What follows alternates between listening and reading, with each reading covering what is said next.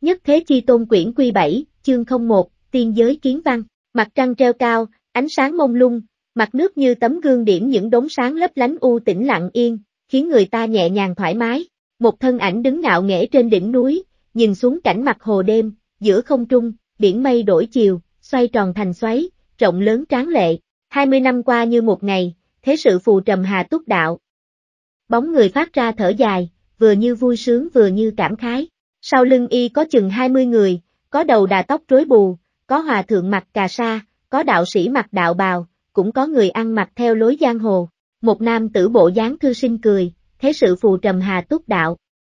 Vô Minh chủ khám phá ra cửa ải sinh tử, sáng tỏ chân không chi diệu, chạm đến tiên giới đại môn, tâm cảnh quả thực đã lại tiến lên một bậc thang mới. Vô Minh chủ không cần phải mượn khí cơ của người khác để khiên dẫn nữa, bây giờ bất kỳ lúc nào, ở đâu cũng có thể phi thăng mà đi, chính là đệ nhất nhân của giang hồ mấy ngàn năm nay. Đương nhiên thế sự phù trầm hà túc đạo, một phụ nhân mặt cung trang miếm môi cười, không chút che giấu sự tôn sùng, điểm thêm vài phần u oán. Vu Bán Sơn là trưởng môn kim hồ phái, võ lâm minh chủ hiện thời, từ lúc xuất đạo tới nay luôn chứng tỏ tư thái cường thế, quét ngang giang hồ suốt 10 năm liền chưa gặp địch thủ, được gọi là hoành thôi ngàn năm đệ nhất nhân, sau rút khỏi giang hồ, hiếm khi mới ra tay, tranh với bản thân, đấu với trời đất, sau 10 năm, cuối cùng cũng đã vượt qua tiền nhân, đạt tới cảnh giới có thể tự phi thăng, hôm nay mời bạn cũ hảo hữu ở khắp nơi tới đây chính là để từ biệt nhau. Y xoay người lại, áo quần đơn giản, bên hông treo một cái ngọc xích màu xanh, gần 40 tuổi nhưng trông chẳng già chút nào mà giống một công tử đầy mị lực thành thục, đôi mắt sâu mênh mang như biển, ẩn dấu ánh sao lấp lánh, khó dò sâu cạn, khiến một đám cao thủ giang hồ nhìn y mà có cảm nhận mình sao mà nhỏ bé yếu ớt. Đi tới ngày hôm nay, nếu không đẩy cánh cửa trước mặt ra, xem nơi cuối cùng của võ đạo là cái gì, ta nhất định chết không nhắm mắt, dù có không nở cỡ nào, cũng nhất định muốn bước ra một bước này. Vu Bán Sơn ngẩng đầu nhìn lên trời cao, khí tức khiên dẫn, biển mây quay cuồng, nguy nga đồ sộ. Hắn quay lại, chào từ biệt với mọi người. Phụ nhân cung trang đầy vẻ phiền muộn và mất mát, cố cười gượng, không biết tiên giới trông như thế nào. Có phải ở đâu cũng sẽ được nhìn tiên nhân hay không? Tưởng tượng về tiên giới, về nơi mà sau khi mình phi thăng đi đến, là chuyện võ giả nào cũng có. Hôm nay vua bán sơn sẽ đi tới đó, mọi người khó tránh khỏi tò mò. Trong truyền thuyết, tiên giới là nơi tràn ngập kỳ hoa dị thảo, linh bảo dị quả, người đi lại đều là các tiên nhân thần thông quảng đại, pháp lực vô biên, thọ cùng trời đất. Vu Bán Sơn khẽ cười, tiên giới nhất định khác với thế tục, chỉ mong được ngồi cùng luận đạo với tiên nhân, giọng điệu không giấu được sự si mê. Chào từng người xong, Vu Bán Sơn nhìn phụ nhân cung trang, mỉm cười, cẩm tú, ta đã phụ nàng nửa đời, có muốn cùng ta đi tới tiên giới hay không, cùng đi tới tiên giới. Mọi người kinh hãi.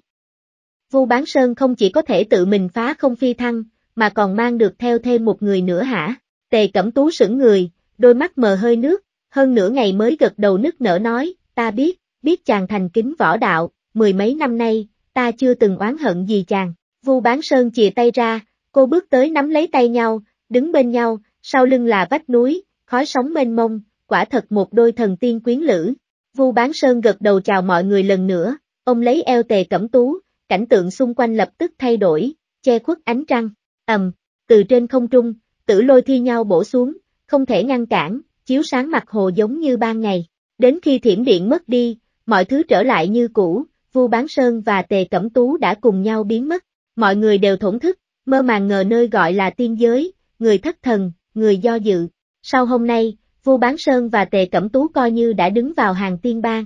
Hư không vỡ ra, một cái khe sâu thẳm, Vu Bán Sơn tóm ngay lấy cơ hội, xông qua vách ngăn thời không. Nguyên thần mê đi, tầm mắt trở nên mơ hồ, đến khi cảm nhận lại được, thấy mình và Tề Cẩm Tú đang ở một nơi hoang sơn giả lĩnh, xung quanh cây cối xanh tươi, linh khí đất trời nồng đậm, khiến cả thể xác và tinh thần nhẹ bẩn hẳn đi. Đây là tiên giới.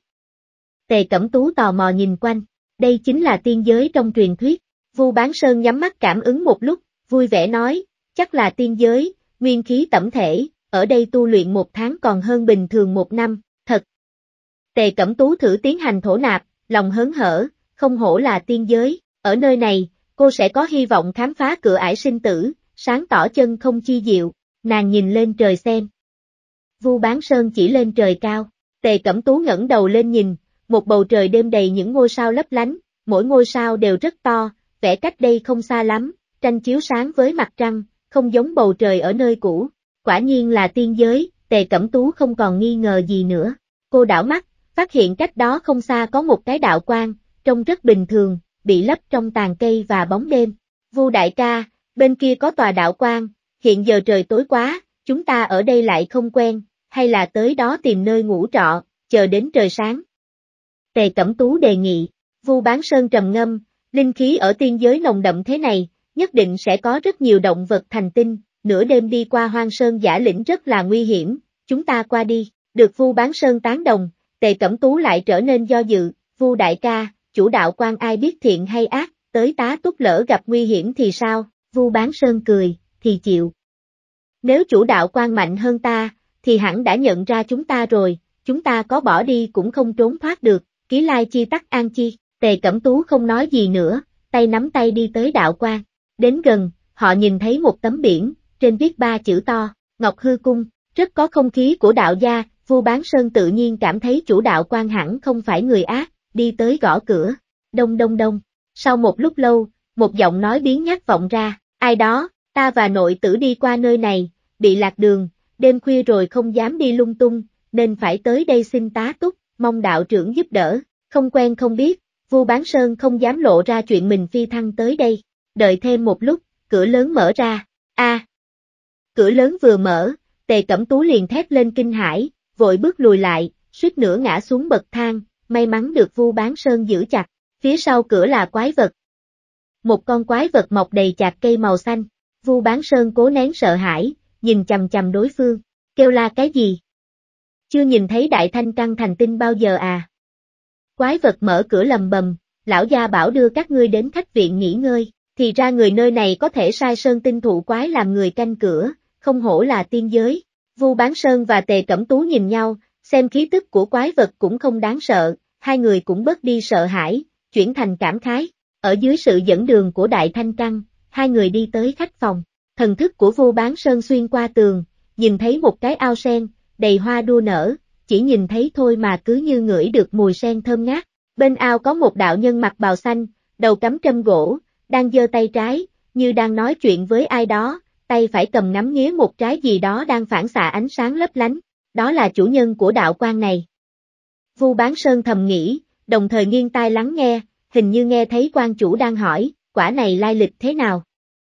Có tác dụng gì? Tề Cẩm Tú nhìn theo mắt y, cũng nhìn thấy cảnh tượng kia. Đến khi đã vào trong khách viện, Đại Thanh căng đi rồi, cô mới cười, quan chủ này có vẻ kỳ dị, không ngờ lại nói chuyện với cánh tay trái của mình, chẳng lẽ hắn nghĩ tay trái của hắn là một người à, chuyện trên tiên giới không nên tự mình phỏng đoán.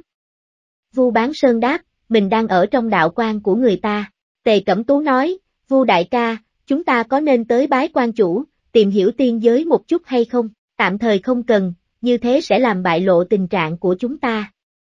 Đợi rời khỏi đạo quan này đã, tới chỗ người nhiều, rồi từ từ tìm hiểu. Vu Bán Sơn kinh nghiệm giang hồ phong phú, cẩn thận là trên hết. Tề Cẩm Tú gật đầu, hơn nữa tòa đạo quan này nhìn quá bình thường, chắc cũng chẳng biết chuyện gì quan trọng đâu. Hai người ngồi xuống đã tọa điều tức, đến trời sáng, rời khỏi khách viện, vẫn chưa được gặp quan chủ, đã được Đại Thanh Căng tiễn đi, chỉ cho đường rời khỏi núi, sau nửa canh giờ đã đi tới tòa thành dưới chân núi, còn chưa vào thành, Vu Bán Sơn và Tề Cẩm Tú liền thấy trên trời có những bóng người bay qua, có người ngồi trên chim gắn động cơ, có người trên lưng gắn cặp cánh, người chân đạp tường vân, người có kiếm quan ẩn thân. Điều này khiến Tề Cẩm Tú chưa phi độn được mở to hai mắt mà nhìn, hơn nửa ngày mới cảm thán, thật sự là tiên giới, hoành tráng quá, Vu Bán Sơn cũng vô cùng xúc động. Hai người dắt tay nhau vào trong thành, liền nghe thấy ngay phía trước có người đang đọc cái gì đó quay sang nhìn, thì ra là thể lệ chiêu sinh phái Nguy Sơn, thể lệ chiêu sinh. Là cái gì thế? Hai người ngơ ngác nhìn nhau, đây là phong tục của tiên giới, nhập gia tùy tục, để mình không bị lộ chỗ khác thường, Vu Bán Sơn và Tề Cẩm Tú không từ chối, nhận lấy tờ thể lệ kia, rồi vội vàng vào thành, tìm một chỗ vắng mới cẩn thận đọc, xác định chữ viết của tiên giới rất giống với văn tự ở chỗ mình, Bổn phái có lịch sử lâu đời, bắt nguồn từ tổ sư môn tàn kiếm lâu đời thứ ba ngoại biệt truyền lại, có giao tình với tất cả các thế lực lớn. Bổn phái sức mạnh hùng hậu, hiện có 15 cường giả ngoại cảnh, một vị tông sư, đa số mọi người đều luyện tinh hỏa đại pháp mà mạnh mẽ, kinh nghiệm về mặt này rất phong phú dày dạn, có khả năng chỉ dẫn cực giỏi. Đệ tử cửu khiếu của bổn phái chỗ nào cũng có, sau này đăng lâm ngoại cảnh, thành tựu tuyệt đỉnh, trở thành tông sư, tuyệt không phải là điều vọng tưởng. Sau này khi tinh hỏa đại pháp hoàn thiện, càng có hy vọng đứng lên hàng tiên bang. Cái kiểu tuyển đệ tử thế này, Vu Bán Sơn và Tề Cẩm Tú chưa nghe bao giờ, không cảm xúc gì nhiều với những miêu tả trong thể lệ kia, bởi vì cấp độ phân chia về tu luyện ở nơi của họ và tiên giới là khác nhau. Họ không hiểu ngoại cảnh, tuyệt đỉnh và tông sư là như thế nào, nhưng có một điểm họ hiểu rõ, chính là năm chữ đứng lên hàng tiên bang, mấy chữ này không thể nào tùy tiện nói ra khỏi miệng được, nhất là khi nơi này là thuộc về tiên giới. Cái môn tinh hỏa đại pháp kia có thể khiến người ta lên được tiên bang sao? Tề Cẩm Tú ngạc nhiên khẽ hỏi, Vu Bán Sơn khẽ nhíu mày, hơn nữa còn nhìn có vẻ rất là dễ có được, rất nhiều người đều biết công pháp đó, chuyện này mà ở nơi họ ở, nhất định không thể nào tin nổi.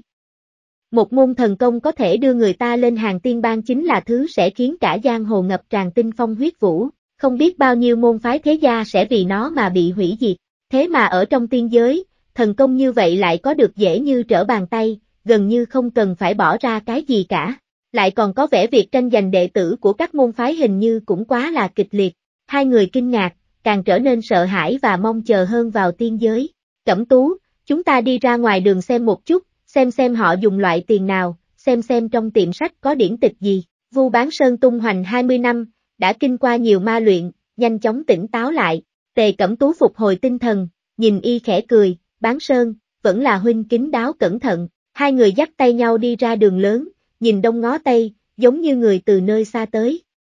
Ngoài đường có nhiều đồ cơ giới giúp người ta di chuyển thay cho đi bộ, hơn xa xe ngựa, vừa tiện lợi vừa kỳ dị. Hai bên nhà cửa cao vút, nhà bốn năm tường chỗ nào cũng có, tạo hình đều rất đặc sắc, không giống phàm tục. Người có khí tức mạnh mẽ xuất hiện ở khắp nơi, người nào cũng khiến tề cẩm tú kinh sợ, chỉ cần vài người trong số họ liên thủ là đủ quét ngang võ lâm của thế giới cô và Vu Bán Sơn. Đây chính là tiên giới. Cô lại than thở, qua cẩn thận quan sát, Vu Bán Sơn thở hắt ra, thoáng yên lòng nói, may quá, tiên giới cũng dùng kim ngân. Lúc phá không phi thăng, là võ lâm minh chủ, tuy không chuẩn bị sẵn, nhưng trên người y đương nhiên có sẵn khá nhiều đồ có giá trị, trên người có tiền, đương nhiên sẽ có tự tin. Hai người bèn đi tìm tiệm sách, tới một góc phố, nhìn thấy một tiệm có tên là Hoàng Kim Ốc. Vu Bán Sơn dắt Tề Cẩm Tú bước vào cửa hàng, đảo mắt một vòng, suýt nữa thì bật thốt lên thất thanh, bởi vì chỗ nào cũng có sách liên quan tới tinh hỏa đại pháp, ví dụ như Tề chú tinh hỏa đại pháp, lục chú tinh hỏa đại pháp, tinh hỏa đại pháp Nam Hoang Tường giải hợp tập, tinh hỏa đại pháp kiếm tu bản. Rực rỡ muôn màu. Nhiều không kể xiết, thần công lên hàng tiên bang mà đi trên đường ở đâu cũng nhìn thấy được. Điều này đã hoàn toàn vượt qua hiểu biết mấy chục năm sống trên đời của vua Bán Sơn, khiến y dù tâm tính đã trở nên rắn rỏi cũng phải nghẹn họng trân trối. Quan trọng hơn cả, là một quyển tề chú tinh hỏa đại pháp, quý giá mà chỉ tốn có hai lượng bạc, rẻ tới mức làm y nghi ngờ là hàng giả. Bí thuật giết rồng, trở thành tiên như thế, mà chỉ đáng giá một hai lượng bạc. Quả thật trên tiên giới không phân quý tiện, ai cũng có thể tu sao. So với cái thần công này, bí tịch tu luyện của mình chẳng phải chỉ đáng có mấy chục văn tiền hay sao? Vậy mà vì mấy chục văn tiền này, cả môn phái phải ngày đêm thủ hộ, nghiêm khắc chọn lựa những người có thiên tư hơn người mới được trở thành đích truyền. Chỉ nghĩ thôi, Tề Cẩm Tú liền có cảm nhận sao mà vớ vẩn, không sao tin nổi, không nhịn được liền nói, chủ quán, có được mở ra xem thử không, chủ quán đẩy sách ra, đầu chẳng buồn ngẩng lên, thứ này còn cần làm giả sao? Trong vạn giới thông thức phù không cần tốn bạc cũng còn học được. Lão Phu chỉ tính tiền công sưu tập, sửa sang lại thôi. Bản sở chú tinh hỏa đại pháp này của lục đại tiên sinh đăng rất rải rác, thi thoảng mới có, không tốn công tập hợp, thì không có đủ bộ được đâu. Bản phê chú ban đầu của ma đế tề chính ngôn đã bị lục phiến môn hạn chế, nhìn thấy một hai thiên chương không khó, nhưng muốn xem được hết bộ thì không dễ đâu nha, cộng thêm tiền giấy, bán hai lượng bạc đã là rất sát giá rồi. Lão nói luôn một tràng, Vu Bán Sơn và Tề Cẩm Tú đầy ngơ ngác, nào là vạn giới thông thức phù, rồi thì lục đại tiên sinh, ma đế tề chính ngôn gì gì đó đều lạ hoắc. May mà đã sống mấy chục năm, ý tứ đại khái vẫn nghe hiểu được. Hẳn hai vị này là cao nhân của tiên giới, hẳn đã sớm đứng trên hàng tiên bang, nên mới tự mình phê chú luận giải về tinh hỏa đại pháp. Nhưng mà, sao phê chú của thần tiên về đại đạo tuyệt học mà lại chỉ bán có hai lượng bạc? không có gì miêu tả nổi tâm tình của hai người lúc này.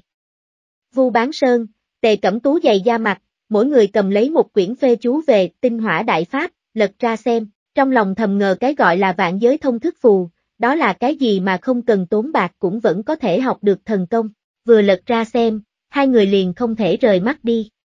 Học võ nhiều năm, một quyển bí tịch tốt hay xấu, hai người chỉ nhìn qua là biết, nhất là Vu Bán Sơn, siêu việt cả tiền nhân, thể ngộ về võ đạo không thể gọi là không sâu, ánh mắt khá là sắc bén. Quyển tinh hỏa đại pháp này đã chỉ thẳng vào bản chất của võ đạo, từ trong tới ngoài, do trời đất ở trong cơ thể mình tự trở thành thế giới, chạm tới quy luật vận chuyển của trời đất, có vẻ quả thật có thể khiến người ta bước lên hàng ngũ tiên bang, hai chữ thần công hoàn toàn xứng đáng. Tề Cẩm Tú đọc mà không ngừng biến sắc, tất cả thể ngộ mấy chục năm học võ của mình đều bị đánh tan, trước mắt hiện ra một thế giới mới vô cùng bao la rộng lớn làm người ta say mê. Vu bán sơn mặt mày hớn hở, bao nhiêu nghi nan trong tu hành đều tìm thấy được giải thích ở nơi này. Có thần công này, sợ gì không thành tiên. Trời ơi, công pháp thần tiên thế này mà chỉ đáng giá có hai lượng bạc. Càng nghĩ, họ càng cảm thấy thế giới kia của mình thực là vô cùng vớ vẩn. Xem đủ chưa? Chủ quán không nhịn được đánh tỉnh hai người. Tề Cẩm Tú nhìn Vu Bán Sơn, lấy túi tiền mua thêm mấy quyển bí tịch. Thần công cỡ này nếu không mua về, nhất định đêm nay không thể nào ngủ được. Tiên giới tuy kỳ quái lạ lùng, nhưng tác dụng của thần công là thật sự. Tất kỹ hai bản bí tịch, Vu Bán Sơn và Tề Cẩm Tú im lặng tiếp tục đi trên đường, nửa đời đã qua gần như đều đã hoàn toàn bị phủ định, thần công tiện tay là có được. Tiên giới quả thật không giống bình thường, thật lâu sau, Vu Bán Sơn thở dài, Tề Cẩm Tú khẽ hít vào một hơi nói, đây là cơ duyên của chúng ta, phía trước có một quán cơm, hai người cũng đã thấy mệt, đi vào định ăn cơm trưa rồi nghỉ ngơi, trong quán khá là tĩnh lặng, vì ai ở đây cũng cầm trong tay một món đồ kỳ quái, cắm đầu mà đọc, trầm mê trong đó, chẳng ai lên tiếng. Trên tường đối diện cửa chính có quan ảnh di động, đang chiếu cảnh chiến đấu vô cùng kịch liệt, là người đấu với yêu, với tà ma, thu hút rất nhiều thực khách chú ý, thỉnh thoảng còn có tiếng giải thích từ trong quan ảnh truyền ra. Buổi chiếu trực tiếp trận giao chiến giữa người với yêu ma ở tán thần sa mạc đến đây tạm thời kết thúc, tiếp theo là chuyến thám hiểm đến Nam Hải, mở ra cho chúng ta thấy mị lực của biển rộng mênh mông, sóng biết mênh mang, sóng nước dập dềnh, hải quái mơ hồ bên dưới. Vu Bán Sơn và Tề Cẩm Tú nhìn mà miệng há hốc, hơn nửa ngày. Vu Bán Sơn mới cảm khái truyền âm, cách xa vạn dặm mà như ở ngay trước mặt, đây là khả năng chỉ thần tiên mới có A, chuyển giao thư từ, Tề Cẩm Tú lầm bầm tự dẻo. Vu Bán Sơn lỗ tai khẽ động, nghe người xung quanh bàn luận, truyền âm nói, Cẩm Tú. Ta nghe thấy họ nói với nhau, hình như cái khả năng thần tiên này là đến từ cái gọi là vạn giới thông thức phù. Vừa rồi chủ tiệm sách cũng nhắc tới vạn giới thông thức phù, tề cẩm tú chớp mắt, ăn cơm trưa xong, chúng ta xem xem mua cái đó ở đâu. Vu bán sơn đề nghị, tề cẩm tú gật đầu, hai người lên lầu ha, tìm một chỗ yên lặng mà ngồi. Trong lúc chờ đồ ăn, hai người mở phê chú tinh hỏa đại pháp ra xem, cẩm tú, cảnh giới của nàng đại khái tương đương tiên giới cửu khiếu, còn ta là có lẽ mới vào ngoại cảnh, vu bán sơn dựa trên mô tả về cảnh giới, khẽ đoán, Vũ trụ khác nhau quy tắc khác nhau, cảnh giới phi thăng cũng sẽ khác nhau. Vu Bán Sơn thấy mình chỉ bằng mới vào ngoại cảnh, nhất thời mất mát, ngoại cảnh có cửu trọng thiên, ba tầng thang trời, thì ra tuyệt thế, tông sư, đại tông sư, là cách gọi những cảnh giới khác nhau của ngoại cảnh. Tề Cẩm Tú lật tới một tờ hướng dẫn, có ghi chú chi tiết về phân chia cảnh giới để những người mới nhập môn nắm được thường thức, sau ngoại cảnh, gọi là pháp thân, tới lúc này mới được coi là đứng hàng tiên bang, đạo gia gọi nhân tiên, Phật môn gọi là La Hán. Vu Bán Sơn bỏ sách của mình xuống, nghiêng người qua phía tề cẩm tú, cùng xem sách của cô. Sau nhân tiên là địa tiên và thiên tiên, đối ứng trong Phật môn là Bồ Tát, Đại Bồ Tát hoặc Đại A-La-Hán, trên nữa là chứng chư giới duy nhất truyền thuyết, được gọi là Đại Năng, thần thông quảng đại, tương ứng với Phật môn chính là Phật Đà, cái gọi là thành Phật chính là chỉ cấp bậc này, tề cẩm tú sợ hãi nói, đây chính là phân chia cảnh giới tiên gia A sau đó còn có tạo hóa và bỉ ngạn, nhưng không có miêu tả gì nhiều. Vu Bán Sơn nói, đúng lúc này, lại có mấy thực khách đi lên, đều là người trẻ, nói năng giọng vang vang, người xung quanh đều nghe thấy, lão cửu, lại tới năm chiêu sinh mới rồi. Ngươi định đi Nguy Sơn Phái, hay vẫn xuống phía Nam? Có người hỏi, một thiếu niên đầy vẻ kiệt ngạo đáp nói, ta vẫn tự tu luyện trước đã. Trong vạn giới thông thức trời đất còn rất nhiều kinh nghiệm tổng kết chưa đụng tới, gia nhập mấy môn phái đó làm gì? Kinh nghiệm tổng kết cũng chỉ là kinh nghiệm tổng kết, mỗi người đều khác với nhau, không thể hoàn toàn đi theo con đường tu đạo của một người nào được, vẫn phải có sư phụ chỉ điểm. Người hỏi ban đầu tận tình khuyên, hơn nữa gia nhập môn phái là sẽ có thêm nhiều quan hệ, sau này hành tẩu giang hồ, sư môn có thể làm hậu thuẫn cho, làm chơi ăn thật, Vu Bán Sơn và Tề Cẩm Tú đều khẽ gật đầu, lời ấy không sai. Hai người đã vô thức chuyển sự chú ý của mình vào những người kia. Thiếu niên kiệt ngạo hừ một cái, các ngươi biết gì chí hướng của ta. Ngàn dặm bôn ba đi đến tòa thành trì này, là vì cái gì? Năm nào cũng có rất nhiều người từ xa tới cái thành này định cư, là vì cái gì? Y chỉ ra ngoài cửa sổ, hướng ấy có một ngọn núi, mây sương che đỉnh, đẹp không sao tả xiết, chính là để tìm cơ duyên, gia nhập vào tiên gia thánh địa đó, Cung Luân Sơn Ngọc Hư Cung, Cung Luân Sơn Ngọc Hư Cung. Vu Bán Sơn và Tề Cẩm Tú ngẩn người, trong đầu cùng hiện ra cái đạo quan tối hôm qua hai người tá túc, nó trông rất bình thường, nhưng biển treo chính là ghi ba chữ Ngọc Hư Cung, tiên gia thánh địa, đó là tiên gia thánh địa, thiếu niên kiệt ngạo tiếp tục nói, mây mù dày đặc không biết mình đang ở đâu. Không có cơ duyên, không đến được Ngọc Hư Cung, nhưng tháng nào ta cũng lên đó thử, đến chừng nào đủ 25 tuổi. Nếu ta may mắn trở thành môn hạ Ngọc Hư, vậy thì vượt xa Nguy Sơn phái đâu chỉ ngàn lần vạn lần. Ngọc Hư trưởng giáo Nguyên Hoàng Tiên Tôn chính là đệ nhất cũng là đại năng tự chứng truyền thuyết duy nhất, nếu được ngài ưu ái, lo gì võ đạo bất thành. Hai đệ tử của ngài hôm nay đều là cường giả tiếng tâm lừng lẫy, quần hùng sắp sửa trở về, phục hồi lại diện mạo cũ của chân thật giới, bày ra khí tượng thượng cổ, nếu không có chí cao xa, làm sao xứng đáng với thế đạo này. Vu Bán Sơn và Tề Cẩm Tú quay qua nhìn nhau, mờ mịt, truyền thuyết đại năng.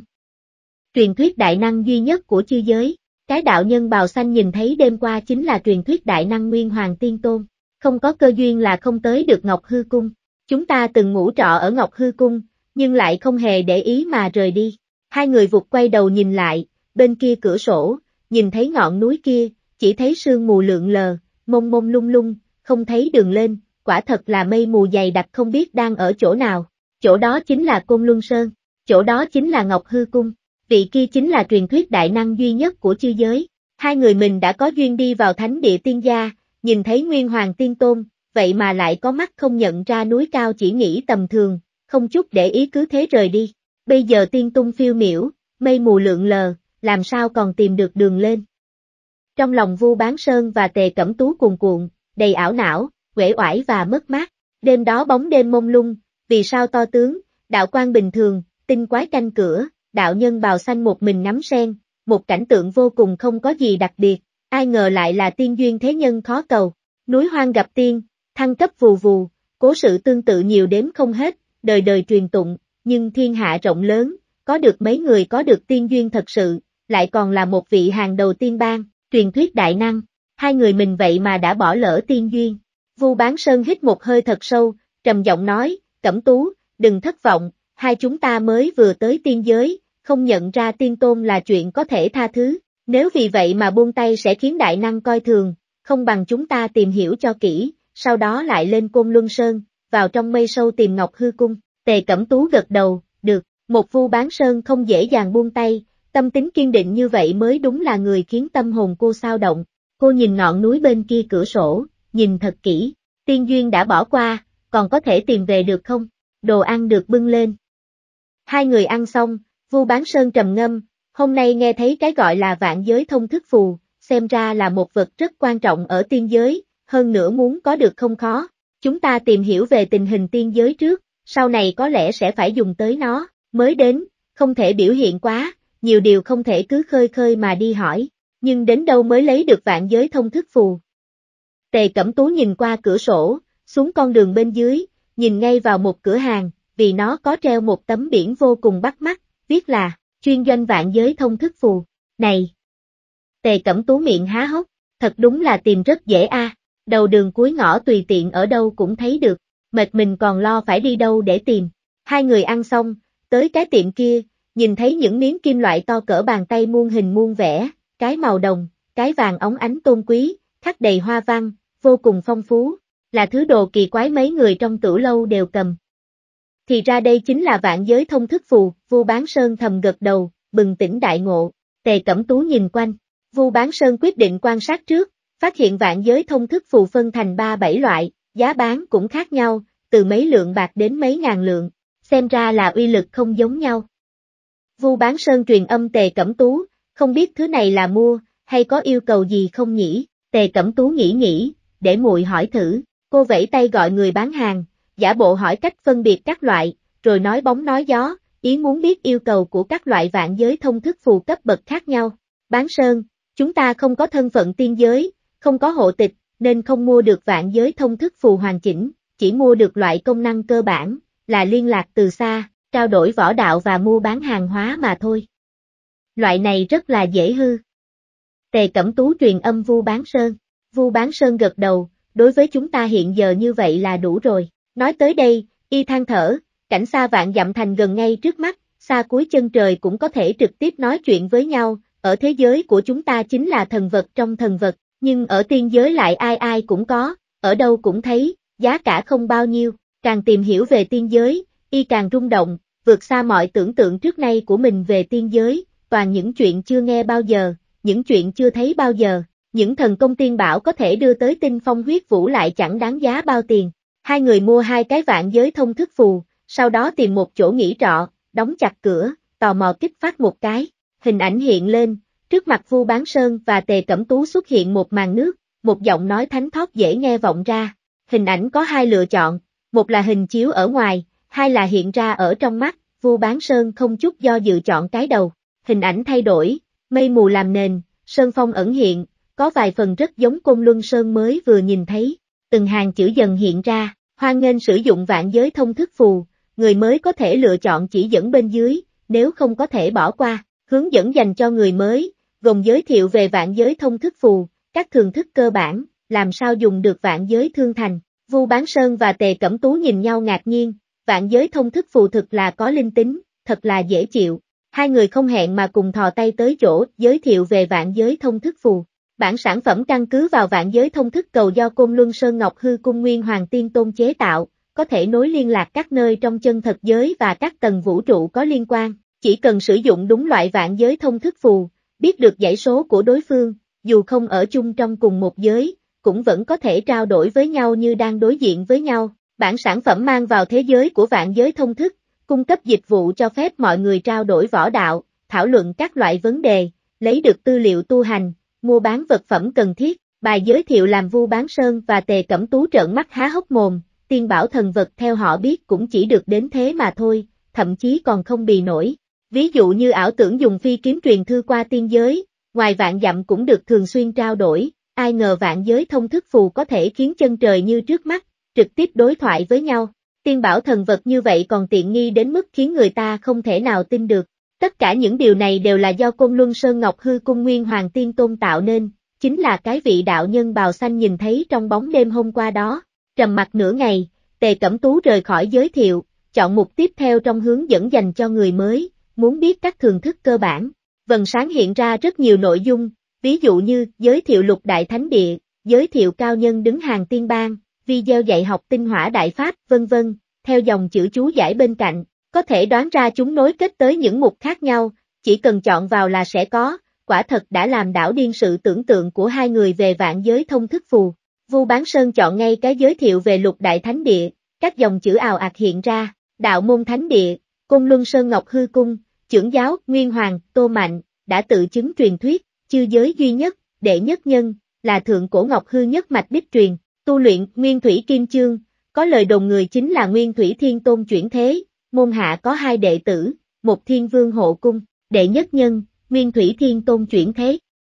Thông qua giới thiệu tinh hỏa đại pháp, Vu Bán Sơn và Tề Cẩm Tú đã biết truyền thuyết đại năng mạnh mẽ tới mức nào, tôn quý tới mức nào, đã hiểu được địa vị của Nguyên Hoàng Tiên Tôn trong hàng ngũ chúng tiên, song không ngờ lai lịch của hắn lại lớn đến như thế, không ngờ lại là Nguyên Thủy Thiên Tôn chuyển thế. Trong thế giới trước kia của họ, Nguyên Thủy Thiên Tôn là thần linh sáng thế, là đạo tổ Thiên Tôn, đứng bên trên tất cả tiên thần, theo miêu tả trong tinh hỏa đại pháp chính là bỉ ngạn đại nhân vật, Nguyên Hoàng Tiên Tôn đúng là Nguyên Thủy Thiên Tôn chuyển thế thật sao? Tề Cẩm Tú đột nhiên nghĩ đến một chuyện, lúc trước lúc cô đi đạo cung Hoàng Nguyện Kính Hương, phát hiện pho tượng Nguyên Thủy Thiên Tôn đã xảy ra thay đổi rất rõ, nghe nói là rất nhiều đạo nhân cùng mơ thấy tướng mạo của Thiên Tôn, cho nên mới thay lại tượng. Hình như quả thật có vài phần rất giống với đạo nhân mặc bào xanh đêm qua. Chẳng lẽ đó thật sự là Nguyên Thủy Thiên Tôn? Cô sợ tới mức muốn hồn phi phách tán, vội kể này chuyện này cho Vu Bán Sơn, làm y cũng chấn động và ngạc nhiên. Thật lâu sau,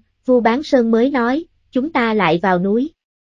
Hy vọng vẫn còn tiên duyên, nhìn thấy được Ngọc Hư Cung, từ Tề Cẩm Tú cũng không muốn buông tay tiên duyên lần này. Họ tiếp tục đọc, hai đại thánh địa Phật môn, Đông Phương Lưu Ly Tịnh Thổ và Phật Quốc dưới đất. Đông Phương Lưu Ly Tịnh Thổ hình như là tạo hóa, do Nguyệt Quan Bồ Tát ít nhất đạt tới cấp độ truyền thuyết trấn áp, Phật Quốc dưới đất nghe đồn do Di lạc hàng thế làm chủ, hiện nay không biết đã tới cảnh giới nào. Thánh địa tả đạo, là giáo chân không gia hương, đại năng thức tỉnh truyền thuyết đã đạt ba vị, yêu tộc thánh địa, yêu hoàng điện không biết đang ở đâu, nghe nói rất nhiều đại thánh thời thượng cổ đã trở về, hiện giờ có thể ra tay không chỉ có hai vị, thánh địa nhân đạo, đại chu trường nhạc, do nhân hoàng cao lãm làm chủ, dưới trướng có hai đại truyền thuyết, hiện đang xây dựng, phong thiên đài, nếu thành công, sau này có thể lấy nhân đạo thống thiên, có thể sắc phong nhân tộc là thần linh, quyền lực khống chế trời đất, càng đọc, Vu Bán Sơn và Tề Cẩm Tú càng hiểu thêm về tiên giới, hiểu được nơi này còn được họ tự gọi là chân thật giới,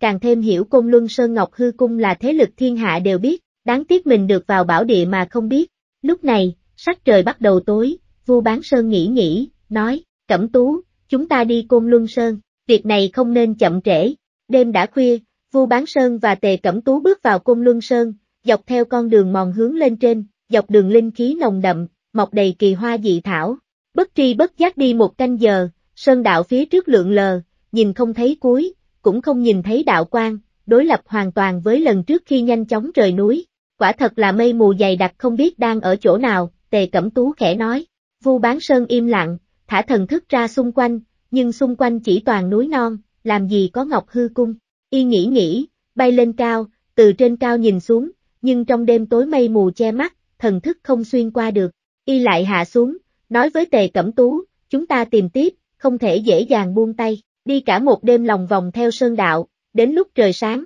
Vu Bán Sơn và Tề Cẩm Tú nhận ra mình đã quay lại chỗ vào núi, quay đầu nhìn lại, mây mù bao trùm, sơn phong giống như tiên cảnh, nhưng không thấy tung tích thần nhân. Tiên duyên mất đi, khó mà tìm lại được, Vu Bán Sơn không nhịn được thở dài. Tề Cẩm Tú kinh ngạc nhìn Côn Luân Sơn, cũng thở dài, tiên duyên quả thực chỉ có thể ngộ mà không thể cầu. Cẩm Tú, đừng chán nản thất vọng, thần công trên tiên giới dễ lấy, chỉ dẫn rất nhiều, chúng ta tự mình cũng có thể tu luyện được, nói không chừng sau này khi có đột phá, sẽ tìm lại được tiên duyên. Vu Bán Sơn nhìn ngọn núi, kiên nghị nói, chúng ta sống ở thành này đi. Trước mặt, công đức chi khí từ vạn giới thông thức phù tuôn ra lượng lờ, hình ảnh đồng tiền hư ảo, hài cốt hoàng tuyền đứng thẳng trong đó, tiếng nước rào rào không ngừng. Mạnh kỳ ngồi trên giường mây, nhìn tích lũy của mình, lẩm bẩm, nên dùng cái này luyện thần binh linh bảo gì đây? Luyện chế vật tuyệt thế không phải chỉ gom đủ tài liệu là được, còn phải có đủ thiên thời địa lợi nhân hòa, ở điểm bước ngoặt chuyển tiếp của đại đạo,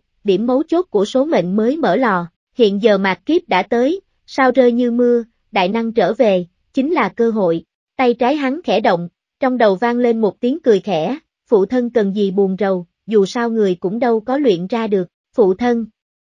Khóe miệng mạnh kỳ run rẩy, trả lời, làm sao biết chắc chắn không được, dùng kim sinh quả, hỗn độn thanh liên tử và bước ngoặt chuyển tiếp bản thân đột phá truyền thuyết, cố tiểu tan thành công sống lại trở về, cộng với tiên thiên chi đức, nhưng kim hoàng ngoại hoạn chưa trừ, nếu bị nhận ra, Ngọc Hư Cung nhất định sẽ bị 12 thần sứ vây công, trong đó hơn phân nửa là đại năng tạo hóa, ví dụ như giữ thế đồng quân trấn nguyên tử, cho nên sau khi thương lượng, cố tiểu Tăng liền trốn vào khiếu huyệt tay trái của Mạnh Kỳ, nhờ hắn che giấu, chờ cơ hội khi ngày càng nhiều những đại năng có thể liên lụy Kim Hoàng. Đương nhiên, cô sống lại, Kim Hoàng ít nhiều sẽ cảm ứng ra, nhất định sẽ phái người đi thử, Mạnh Kỳ không tránh khỏi bị khiêu chiến, nên hắn mới lấy ra những tài liệu tốt nhất mình có, xem xem có thể luyện ra một linh bảo cấp tuyệt thế hay không, để dùng khi xuất kỳ bất ý. Cố Tiểu Tan cười khanh khách, dù có khiến cho Phật phải nhảy qua tường, thì tài liệu cũng phải có lựa chọn cho phù hợp, làm gì có ai giống phụ thân, lôi hết những tài liệu tốt ra một lèo như thế. Mạnh kỳ gật gù, hắn biết đạo lý dục tốc tắc bất đạt, nhồi nhét lung tung tài liệu dưới và trên tiên thiên vào cùng một chỗ, chỉ có thể làm cản trở lẫn nhau, thành một nồi lẩu thập cẩm mà thôi, Chất lượng ra sao phải nhờ vào thiên ý, xem ra còn phải tìm kiếm pháp môn luyện khí và cân nhắc vấn đề phối hợp tính chất của các loại tài liệu, tạm bỏ việc này sang một bên vậy. Hắn nghiêm mặt nói, đừng gọi cha nữa, mỗi khi nghe thấy cô gọi hắn như thế, trong lòng hắn đều không kìm được mà rung lên, da đầu tê dại.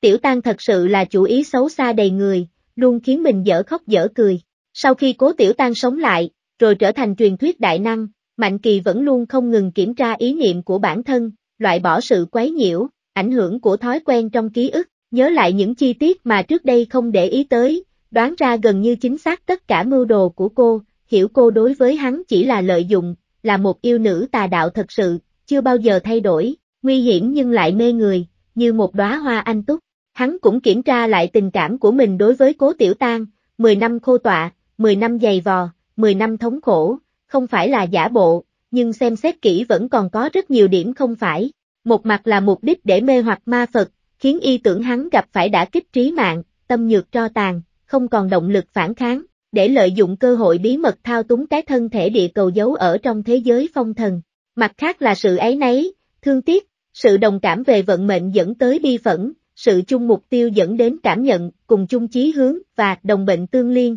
cũng sinh ra ý muốn trở thành đạo lữ, nhất là khi cố tiểu tan vì hắn mà mất mạng, khi nghĩ lại điều ấy, hắn đã để những suy nghĩ tốt đẹp về cô, những hoài niệm cũ ảnh hưởng, làm cho tình cảm của hắn dành cho cô tăng lên. Hôm nay việc này đã trở về diện mạo vốn có, những tầng hảo cảm đã bị bóc ra, nhưng dù thế nào, họ cũng không thể xem nhau nhạt nhẽo như người qua đường, hoàn toàn không có một chút tình cảm nào. Nghĩ lại những chuyện cũ, Tiểu Tăng lúc nào cũng gọi hắn là tướng công mà nũng nịu, Tiểu Tăng luôn thích trêu cợt hắn, Tiểu Tăng lúc nào cũng phối hợp diễn trò với hắn vô cùng ăn ý. Tiểu Tăng mặc bộ áo trắng dưới ánh đèn rực rỡ, vừa thanh lại vừa diễn, Tiểu Tăng lần nào cũng nói muốn giết hắn, nhưng hình như chẳng lần nào dùng tới toàn lực. Từng chuyện của hiện ra, Mạnh Kỳ thầm thở dài. Chuyện tình cảm, ngay cả truyền thuyết đại năng cũng khó phân biệt được rành mạch, nhưng không thể phủ nhận là, đối với cố Tiểu Tăng, hắn quả thật có vài phần tình cảm, có lẽ là bắt đầu từ khi những hồi ức bị làm cho đẹp đẽ hóa, cũng có lẽ là đã có từ hồi còn sớm hơn nữa, và không biết là từ đâu mà ra. Còn chuyện tâm tư của cố Tiểu Tang, với tính cách khó đoán của cô, hắn thật sự không biết ngoài lợi dụng, cô cũng có những cảm xúc tương tự với hắn hay không, luôn khiến cho người ta đoán không ra mới thực là đúng với hai từ yêu nữ. Nhưng Mạnh Kỳ có chú ý tới một điểm đáng để suy ngẫm, chính là khi yêu nữ lấy lợi dụng làm chủ, cô không bao giờ keo kiệt biểu lộ tình yêu, biểu lộ tình cảm nồng nàn dành cho hắn. Xưng hô phu quân cứ như thuận miệng mà tuôn ra, có cần phải cứu chàng cả trăm lần ngàn lần, cho tới khi chết ngay trước mặt chàng thì chàng mới tin hay không, lời lẽ thê lương đau lòng đến thế. Nhưng bây giờ, chỉ còn lại toàn mưu đồ, lợi dụng, trêu cợt vẫn còn, nhưng không còn nhìn thấy biểu hiện tình thâm như ngày xưa nữa. À, cố tiểu tan kéo dài giọng, hạ giọng xuống, mang theo ý cười, xem ra phu quân thích nghe thấy cách gọi này trong một thời khắc đặc thù nào đó. Mạnh kỳ đã coi thường sự mặt dày của yêu nữ, lại dở khóc dở cười, nói sang chuyện khác, cái quả lấy được từ cây phù tan cổ thụ kia có điểm gì đặc biệt, đây là lần thứ ba hắn hỏi cô câu này. Hai lần trước, cố tiểu tan đều cố ý chuyển đề tài sang chuyện khác, lấy những chuyện làm người ta đỏ cả mặt mũi để chuyển dời sự chú ý. Điều này khiến hắn càng thêm tò mò về cô. Từ đâu cô biết được tác dụng bí mật của kim sinh quả? Làm sao cô vào được giới vực phù tan cổ thụ, lại còn leo được tới đỉnh ngọn cây? Sao cô cứ ra vẻ biết trước khả năng bố cục thế, trong khi đại nhân vật bỉ ngạn như Kim Hoàng còn bị ngã bổ nhào? Mạnh kỳ thậm chí còn nghi ngờ cô lựa chọn khiếu huyệt tay trái của hắn để ẩn thân hẳn là có lý do nào đó, bởi vì cái quả huyết đào yêu dị lấy được từ bàn đào viên cũng đang nằm ở tay trái hắn mà. Nhưng rốt cuộc đó là bí mật gì, thì hắn tạm thời không biết, nhưng cô ẩn thân trên người hắn, cũng đã giúp đỡ hắn rất lớn. Kinh nghiệm và kiến thức của đại nhân vật bỉ ngạn há chỉ phi phàm. Cố tiểu tan khẽ cười, phu quân thật đúng là bám riết không tha, không chịu bỏ qua.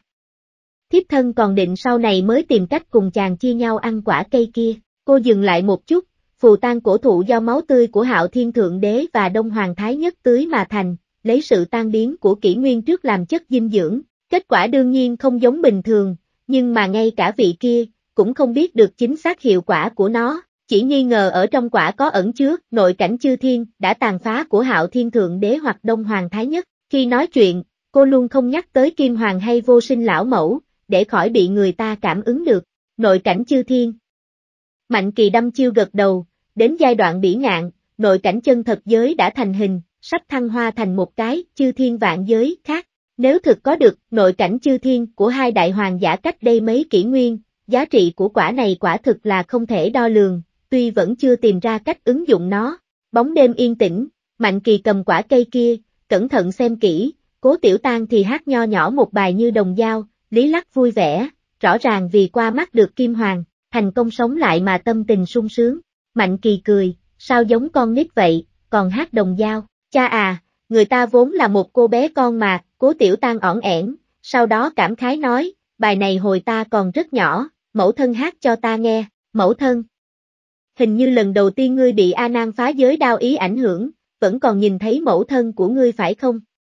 Mạnh kỳ nhớ lại ngay, ừ, cố tiểu tan trầm trầm trả lời, tiếp đó cười nhẹ, tướng công, còn nhớ lời ước định trước đây của chúng ta không? Nếu sống lại, hàng đêm tẩn hoang, những chữ cuối dần cao lên, ngữ khí kiều mị, câu hồn đoạt phách, mạnh kỳ cứng người, trong lòng rung động, không nhịn được nuốt nước miếng, sau đó liền thấy cánh tay trái của mình hạ dần xuống, dừng. Mắt hắn giật giật, đây mà là hàng đêm tẩn hoang.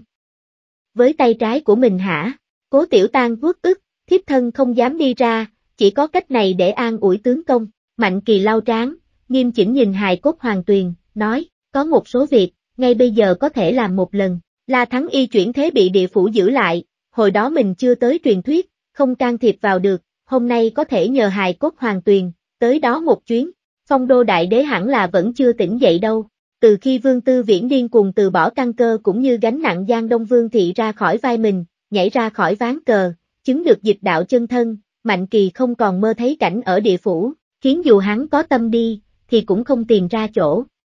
Hơn nữa cái người gọi là Diêm La Vương, sống ở quỷ thần chân linh đồ, là có thực lực truyền thuyết khi ở trên sân nhà, hồi đó hắn không có khả năng đỡ nổi, nên mới phải tạm bỏ qua chuyện của La Thắng Y chờ cơ hội. Hôm nay hắn đã vào cảnh giới truyền thuyết, chứng được duy nhất, mạnh hơn những đại năng thức tỉnh sớm chưa trở về tới đỉnh phong, hơn nữa trong người lại còn có bá vương tuyệt đao, trưởng khống hài cốt hoàng tuyền, nên hắn đã có đủ lòng tin có khả năng đấu với Diêm La Vương một trận, dù ở đó có âm phủ gia trì, không thể nghiền áp nó, thì nhất định cũng sẽ quậy banh khiến địa phủ không được an bình. Vì một nhân vật nhỏ không quan trọng gì là La Thắng Y chuyển thế, Diêm La Vương sẽ chịu trả giá bao nhiêu, chỉ cần mình biểu hiện ra được quyết tâm, mọi việc hẳn là không khó. Mắt mạnh kỳ hiện ra đạo nhất lưu ly đăng, chiếu ra ánh sáng hai màu đen trắng, không ngừng lưu chuyển, so với trước đây hiện giờ chúng tự hồ có thể chiếu qua những tầng vũ trụ, chiếu sáng tới cả chư thiên vạn giới, trở nên có chư quả chi nhân, thần tủy. Ánh sáng nhân quả dừng lại trên hài cốt hoàng tuyền, kích thích sương mù màu huyết hoàng tỏa ra tràn ngập, đầy những sợi dây kết nối như có như không, kéo dài ra nối tới khắp nơi, vẽ ra một câu chuyện vô cùng phức tạp khúc chiết. Mặc kệ là phương nào thế lực nào muốn thành lập nên âm tào địa phủ, thì cũng đều không thể thiếu dòng sông hoàng tuyền tượng trưng cho tử vong và trầm luân, hoặc là tự mình tạo ra bắt trước, hoặc dẫn nhánh từ cửu u chân hà chảy vào, khi bản thân càng ngày càng hoàn thiện, càng ngày càng tiếp cận cửu u và tiên giới, cuối cùng sẽ đưa được hoàng tuyền thật sự nhét vào trong đó, trở nên viên mãn, cho nên, có thể dùng hài cốt hoàng tuyền để cảm ứng mộng cảnh địa phủ, chư quả chi nhân chuyển động. Hồi ức lúc trước thu hoạch liên hệ, Mạnh kỳ thẩm tra hoàng tuyền hài cốt lan tràn đi ra ngoài vô số nhân quả chi tuyến, cả người như ngồi ở trong u ám hỗn độn, cơ hồ có thiên tôn khí thế, cố tiểu tan cười nhẹ sau không nói.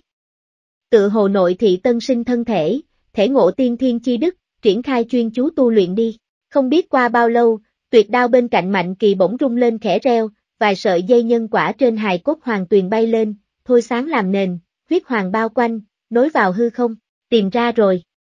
Hắn thò tay qua, trong hỗn độn, ở một nơi đất trời mù mịt, một dòng sông màu đỏ máu bên trong vô số thủy quỷ oan hồn trầm luân chảy xuyên qua, trên sông cầu đá nguy nga sang sát, bên bờ nở rực những đóa vong ưu, sâu bên trong có sáu chiếc cầu luân hồi, đại điện thâm đen trải rộng, kết nối tới vũ trụ vạn giới, âm binh quỷ sai tới lui bận rộn mà có trật tự khiến nơi đầy chết chóc này trở nên yên tĩnh ý vị, nhưng thường luôn nghe thấy những tiếng kêu trên thê lương đầy sợ hãi. Đúng lúc này, cảnh địa phủ đang âm trầm bỗng nhiên tối đi, trở nên hoàn toàn tối mịt, từ trên cao, một bàn tay trắng muốt như ngọc thò xuống, năm ngón tay mở ra, bao phủ cả địa phủ, mang tới cảm nhận đất trời đảo lộn, những đại điện to lớn trở nên nhỏ bé như gà con, không có khả năng chống đỡ bàn tay đang ấn xuống. Tô Mạnh, một tiếng hét đầy tức giận từ trong Diêm La Điện truyền ra, khiến đám âm binh quỷ sai đang trong sợ hãi mà dại ra hồi thần. Một luồng khí tức mạnh mẽ bốc ra, hóa thành những vần mặt trời đen, mênh mông mạnh mẽ, âm lãnh nặng nề. Chúng choáng hết không trung, nối thành những tinh hà tối tăm, tụ thành một tấm tinh đồ miêu tả vũ trụ. Tinh đồ xoay tròn, biến thành một nắm tay cực to với những khớp xương rõ ràng, mang theo địa phủ tử ý, hướng lên đón đánh bàn tay kia. Phanh, bàn tay chụp vào nắm tay, phát ra âm thanh va chạm nặng nề. Những vần mặt trời đen vỡ tan, những dãy ngân hà tinh hà tan rã, tinh đồ tung tóe, trời đất sụp đổ, một đường kéo dài tới tận chỗ các điện cát và luân hồi chi kiều mới bị cửu điện quỷ đế còn lại liên thủ chặn đứng. Năm xưa Quảng Thành Thiên Tôn lấy phiên thiên ấn tung hoành thái cổ thượng cổ, đánh biết bao nhiêu tạo hóa và truyền thuyết, hôm nay một ấn này cuối cùng cũng đã có vài phần uy phong lúc trước. Trong đại điện, bình phong sau lưng Diêm La và gạch đá xung quanh đều vỡ vụn, quỷ đế chi khu khổng lồ bị thấp xuống một khúc. Có lợi thế sân nhà và sức mạnh truyền thuyết nhiều năm, thế mà lại chỉ có thể cân sức ngang tài. Chung quanh nó hiện ra rất nhiều những hư ảnh địa ngục, truyền tới sức mạnh mênh mang, ngưng tụ vào trong tay phải. Tô Mạnh, nó lại nổi giận gầm lên, tay phải lại nắm lại thành quyền tung ra, trong điện, mặt trời đen tái hiện lại ngưng tụ thành tinh đồ cự trưởng. Ô ô ô, tất cả âm binh quỷ sai, quan hồn ác linh trong mộng cảnh địa phủ đều thét lên tiếng khóc thê lương, như nhớ lại nỗi sợ hãi và không cam tâm khi gặp phải cảnh tử vong lần đầu tiên. Những đóa hoa vong ưu bỉ ngạn héo tàn, dòng sông huyết hoàng đang trôi nhanh dừng lại, cây cầu dài đi thông tới lục đạo nghiến lên ken két, tất cả sức mạnh đều tụ vào tinh đồ cự trưởng. Có khởi đầu thì có kết thúc, sinh linh khi bắt đầu xuất hiện là đã được chú định sẽ có ngày trở về tử vong, chư thiên vạn giới nhìn như vĩnh hằng, nhưng cũng có điểm cuối khi kỷ nguyên kết thúc. Một quyền này, vạn vật đều đến cuối, tinh đồ tối tâm lại hóa thành nắm tay đánh lên hướng trời cao, đón đánh bàn tay khổng lồ đang tiếp tục vỗ xuống. Trong bàn tay trắng muốt lại có màu tối đen, âm dương phân hóa, sinh tử lưu chuyển, như chứa đựng bí mật chư thiên, nguyên nhân bất hủ và mộng cảnh địa phủ như trở nên bảo hòa. Phanh, quyền trưởng giao nhau, âm cực dương sinh, các quỷ sai oan hồn bỗng nhận thấy khí tức của mình trở nên sống động, như có nhục thân. Phanh, diêm la lão đảo, âm khí tỏa ra nồng đậm, tiếng kêu thảm thiết không ngừng bên tai. Sau đó nó thấy bàn tay mạnh kỳ chụp lại, dòng sông màu đỏ máu chảy xuyên qua địa phủ rung lên, như biến thành vật sống, sau đó biến thành một con cự xà, bị túng lên, lột da rút xương, trở về ngọn nguồn. Oanh long long, toàn bộ mộng cảnh địa phủ lắc lư mãnh liệt, dòng sông huyết hoàng bị túng ra, uốn cong thành vòm, như không đỡ nổi, những thủy quỷ oan hồn trong dòng sông kêu lên chói tai, bắt đầu tan thành mây khói. Nhìn dòng sông huyết hoàng bay lên không trung, Diêm La không chút nghĩ ngợi, đưa tay lên chụp lại. Hoàng tuyền tự tạo mà mất, địa phủ tất thụ thương nặng, không biết bao lâu mới có thể phục nguyên. Chẳng lẽ phải kinh động đại đế? Nó sốt ruột nghĩ, vừa tranh giành dòng hoàng tuyền với Mạnh Kỳ vừa quát to, Tô Mạnh, ngươi rốt cuộc muốn làm cái gì? Ngữ khí đã có phần yếu đi. Nếu vì một việc lông gà vỏ tỏi mà khiến đại đế phải hàng lâm sức mạnh, quấy rầy nó ngủ say, sau này nhất định sẽ bị trừng phạt, nhất là nếu đại đế không thức tỉnh lại, mà chỉ hàng lâm một chút sức mạnh, giống như Giang Đông Vương Thị lần đó, thì chưa chắc đã chống đỡ nổi một truyền thuyết như Tô Mạnh. Bàn tay trắng muốt khựng lại, tiếng mạnh kỳ từ đằng xa truyền đến, đưa La Thắng Y chuyển thế, chỉ vì việc cỏn con ấy. Diêm La suýt nữa chửi má nó, ngươi thành tựu truyền thuyết rồi, tới chỗ ta nói chuyện, chẳng lẽ bổn vương vì một cái chuyện đậu xanh hạt vườn này mà từ chối ngươi sao? Sao lại cứ thế đánh vào nhà ta thế? Quá là cuồng vọng quá là kiêu ngạo, mắng thì mắng, nó rất rõ ràng Mạnh Kỳ là đang trả thù chuyện lần trước, nó muốn bảo vệ địa phủ thì có thể, nhưng không hẳn cản được Tô Mạnh túng lấy dòng hoàng tuyền tự tạo mang đi. Vì một việc lông gà vỏ tỏi mà làm địa phủ phủ tổn thất lớn vậy được sao? Xem kỹ ý niệm, loại trừ cảm xúc, Diêm La sau khi trầm ngâm liền vung tay lên, La Thắng Y đang ở bên trong quỷ ngục bị lôi ra, ném tới lốc xoáy ở cây cầu đầu thai vào nhân đạo, một tia ánh sáng từ trên trời giáng xuống, bọc lấy ba hồn bảy phách của La Thắng Y. Ngươi có muốn biết tin tức chuyển thế của Trương Viễn Sơn và Phù Chân Chân luôn không? Làm xong, Diêm La lên tiếng hỏi, Tô Mạnh đại thế đã thành, trước khi đại đế trở về mình không nên đắc tội hắn, nếu không tính tới cảm xúc căm ghét, biến chiến tranh thành tơ lụa với hắn là lựa chọn sáng suốt nhất. Tiếng mạnh kỳ xa xôi như vọng tới từ thiên ngoại, miễn cười, không cần Diêm La bận tâm, chuyện này, sau khi chư quả chi nhân của mổ lại tiến thêm một bước, đã có manh mối, dòng sông đỏ máu lại hạ xuống, trở về chỗ cũ. Sau đó, mọi thứ trở lại như cũ, dòng sông lại chảy, trầm luân như trước. Diêm La đứng ở trong điện, nhìn trời cao xuất thần rất lâu. Thế gia tôn thị Giang Đông, gia chủ không ngừng đi qua đi lại, chờ phu nhân sinh con, tấm bình phong không cản được cảm ứng của y. Lúc này mới vừa giữa trưa nhưng bầu trời lại tối tăm, như sắp có mưa to, không khí nặng nề, ầm, một tia chớp lóe sáng phía chân trời, xua tan hắc ám trong ngắn ngủi, qua oa oa, tiếng khóc trẻ con vọng ra, bà đỡ ôm đứa trẻ đi ra, cười rạng rỡ, chúc mừng lão gia, chúc mừng lão gia, đích mạch có truyền, gia chủ ôm con, nhìn kỹ, trắng trắng mềm mềm, rất là thích mắt, nhất thời bật cười thành tiếng. Đúng lúc này, gia phó từ bên ngoài sộc vào, giọng nói đầy kinh ngạc, lão gia, lão gia, đại sự, đại sự, Nguyên Hoàng, Tô Mạnh cầu kiến, Nguyên Hoàng, Tô Mạnh. Cung Luân Sơn Ngọc Hư Cung, Nguyên Hoàng, Tô Mạnh. Gia chủ sững người, người hầu cũng thế, truyền thuyết đại năng đến cầu kiến mình, chuyện gì vậy chứ? ngay người một hồi, tôn gia chủ mới lẩm bẩm thẫn thờ, có khi nào là giả không? Y chợt thấy lo, không biết nên vui hay buồn, trong lòng đầy kinh hãi. Nguyên Hoàng là ai? Là cao nhân tự chứng truyền thuyết đầu tiên từ sau thời Trung Cổ đó, Nguyên Thủy Đích truyền, Ngọc Hư trưởng giáo, uy áp Hoàng Vũ, tiên trung xưng tôn. Đại năng như vậy, cả Giang Đông Vương thì còn không dám nhìn theo bóng lưng, huống chi một thế tộc tầm thường như nhà mình. Chênh lệch giữa hai bên chẳng khác gì phàm nhân bình thường và tiên Phật thần thánh, cho nên, tôn gia dựa vào cái gì mà dám mơ có nguyên hoàng tới cửa cầu kiến. Chỉ cần một tấm phù chiếu của Côn Luân Sơn Ngọc Hư Cung, cũng không cần phải do đích thân nguyên hoàng ban bố, mình cũng sẽ thụ sủng nhược kinh ngày đêm kim trình chạy tới mà bái kiến, nhưng ngay cả chuyện ấy cũng chỉ là một hy vọng xa vời, trong mộng cũng không dám khát cầu, ai dám nghĩ hôm nay Nguyên Hoàng tự mình đăng môn, tôn gia chủ cảm thấy vô cùng nghi ngờ, chắc Nguyên Hoàng này không phải là Nguyên Hoàng đó đâu, hồi trước, Tống gia thế giao với nhà mình từng bị một đạo sĩ giả mạo chân tiên lừa gạt lấy đi rất nhiều tài vật, hôm nay tới lượt mình à. Gia phó đang nghe truyện trên TV audio CV bỗng lên tiếng, người này rất giống hình ảnh Nguyên Hoàng công bố trong vạn giới thông thức, chắc không phải có người biến hóa giả mạo đâu, nói thì nói vậy, nhưng chính gã cũng không dám tin đây là thật. Trên diễn đàn đều nói yêu vật bạch trạch, mi hầu chi chúc am hiểu biến hóa, ma môn cũng có rất nhiều bí thuật biến hình, chưa kể với những người võ công không tới, chỉ cần kỹ lưỡng một tí là lừa được dễ dàng. Nếu nói ngoài cửa xác thật là truyền thuyết đại năng nguyên hoàng tiên tôn, ngay cả chính bản thân mình mình cũng không thuyết phục nổi. Gã lắp bắp, bây giờ ai mà dám giả mạo nguyên hoàng, không sợ trời giáng ngủ lôi oanh sao. Trong vạn giới thương thành bán hàng giả mà còn bị lôi phạt cơ mà, huống chi giả mạo chủ nhân vạn giới thông thức cầu. Nói có lý, tôn gia chủ khẽ gật đầu, rồi nhíu mày, nhưng Nguyên Hoàng làm gì có thời gian rỗi quản mấy tên đạo chích nhảy nhép vớ vẩn. Hai người vào trong thế giới vạn giới thông thức tìm diễn đàn đăng bài nhờ người giúp, tuân mệnh. Gia phó vội lôi vạn giới thông thức phù của mình ra, xông ngay vào giang hồ trà lâu mà mình thường vào, nghĩ nhanh nội dung, thêm thắt mắm muối, để thu hút sự chú ý của mọi người. Ngoài cửa nhà ta có người tự xưng là Côn Luân Sơn Ngọc Hư Cung Nguyên Hoàng Tiên Tôn, nói ta thân có tiên cốt, muốn thu ta làm đồ đệ, ta hoảng quá, không biết hắn là thật hay là giả. Mọi người giúp kiểm tra một chút, online đợi, rất cấp bách, gã đang định đăng luôn hình của đạo sĩ ngoài cửa do trận pháp ở cửa ghi nhận được, thì nghe thấy lão gia nhà mình khẽ quát, khoan, gã giật mình, rung tay, bấm luôn vào nút chuyển hình, cứ thế gửi đi, lão gia. Gã mờ mịt nhìn gia chủ, công gia chủ khôi phục khí độ chấp trưởng gia đình, trầm ngâm, nếu thật sự là nguyên hoàng thì sao?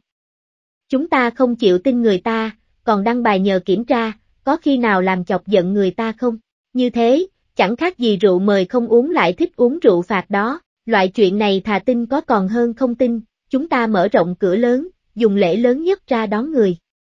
Chỉ cần Nguyên Hoàng không đòi tiền tài gì, vậy nhất định người này là thật. Dù sau này có chứng minh được là giả, thì quá lắm cũng chỉ mất chút mặt mũi, còn hơn là bị Nguyên Hoàng nổi giận, giữa hai cái hại nên chọn cái ít hại hơn, ta đã đăng bài rồi. Gia phó miệng há hốc, không dám nói lời thật, gió lạnh thổi qua, gã run run, vội hùa theo, vâng.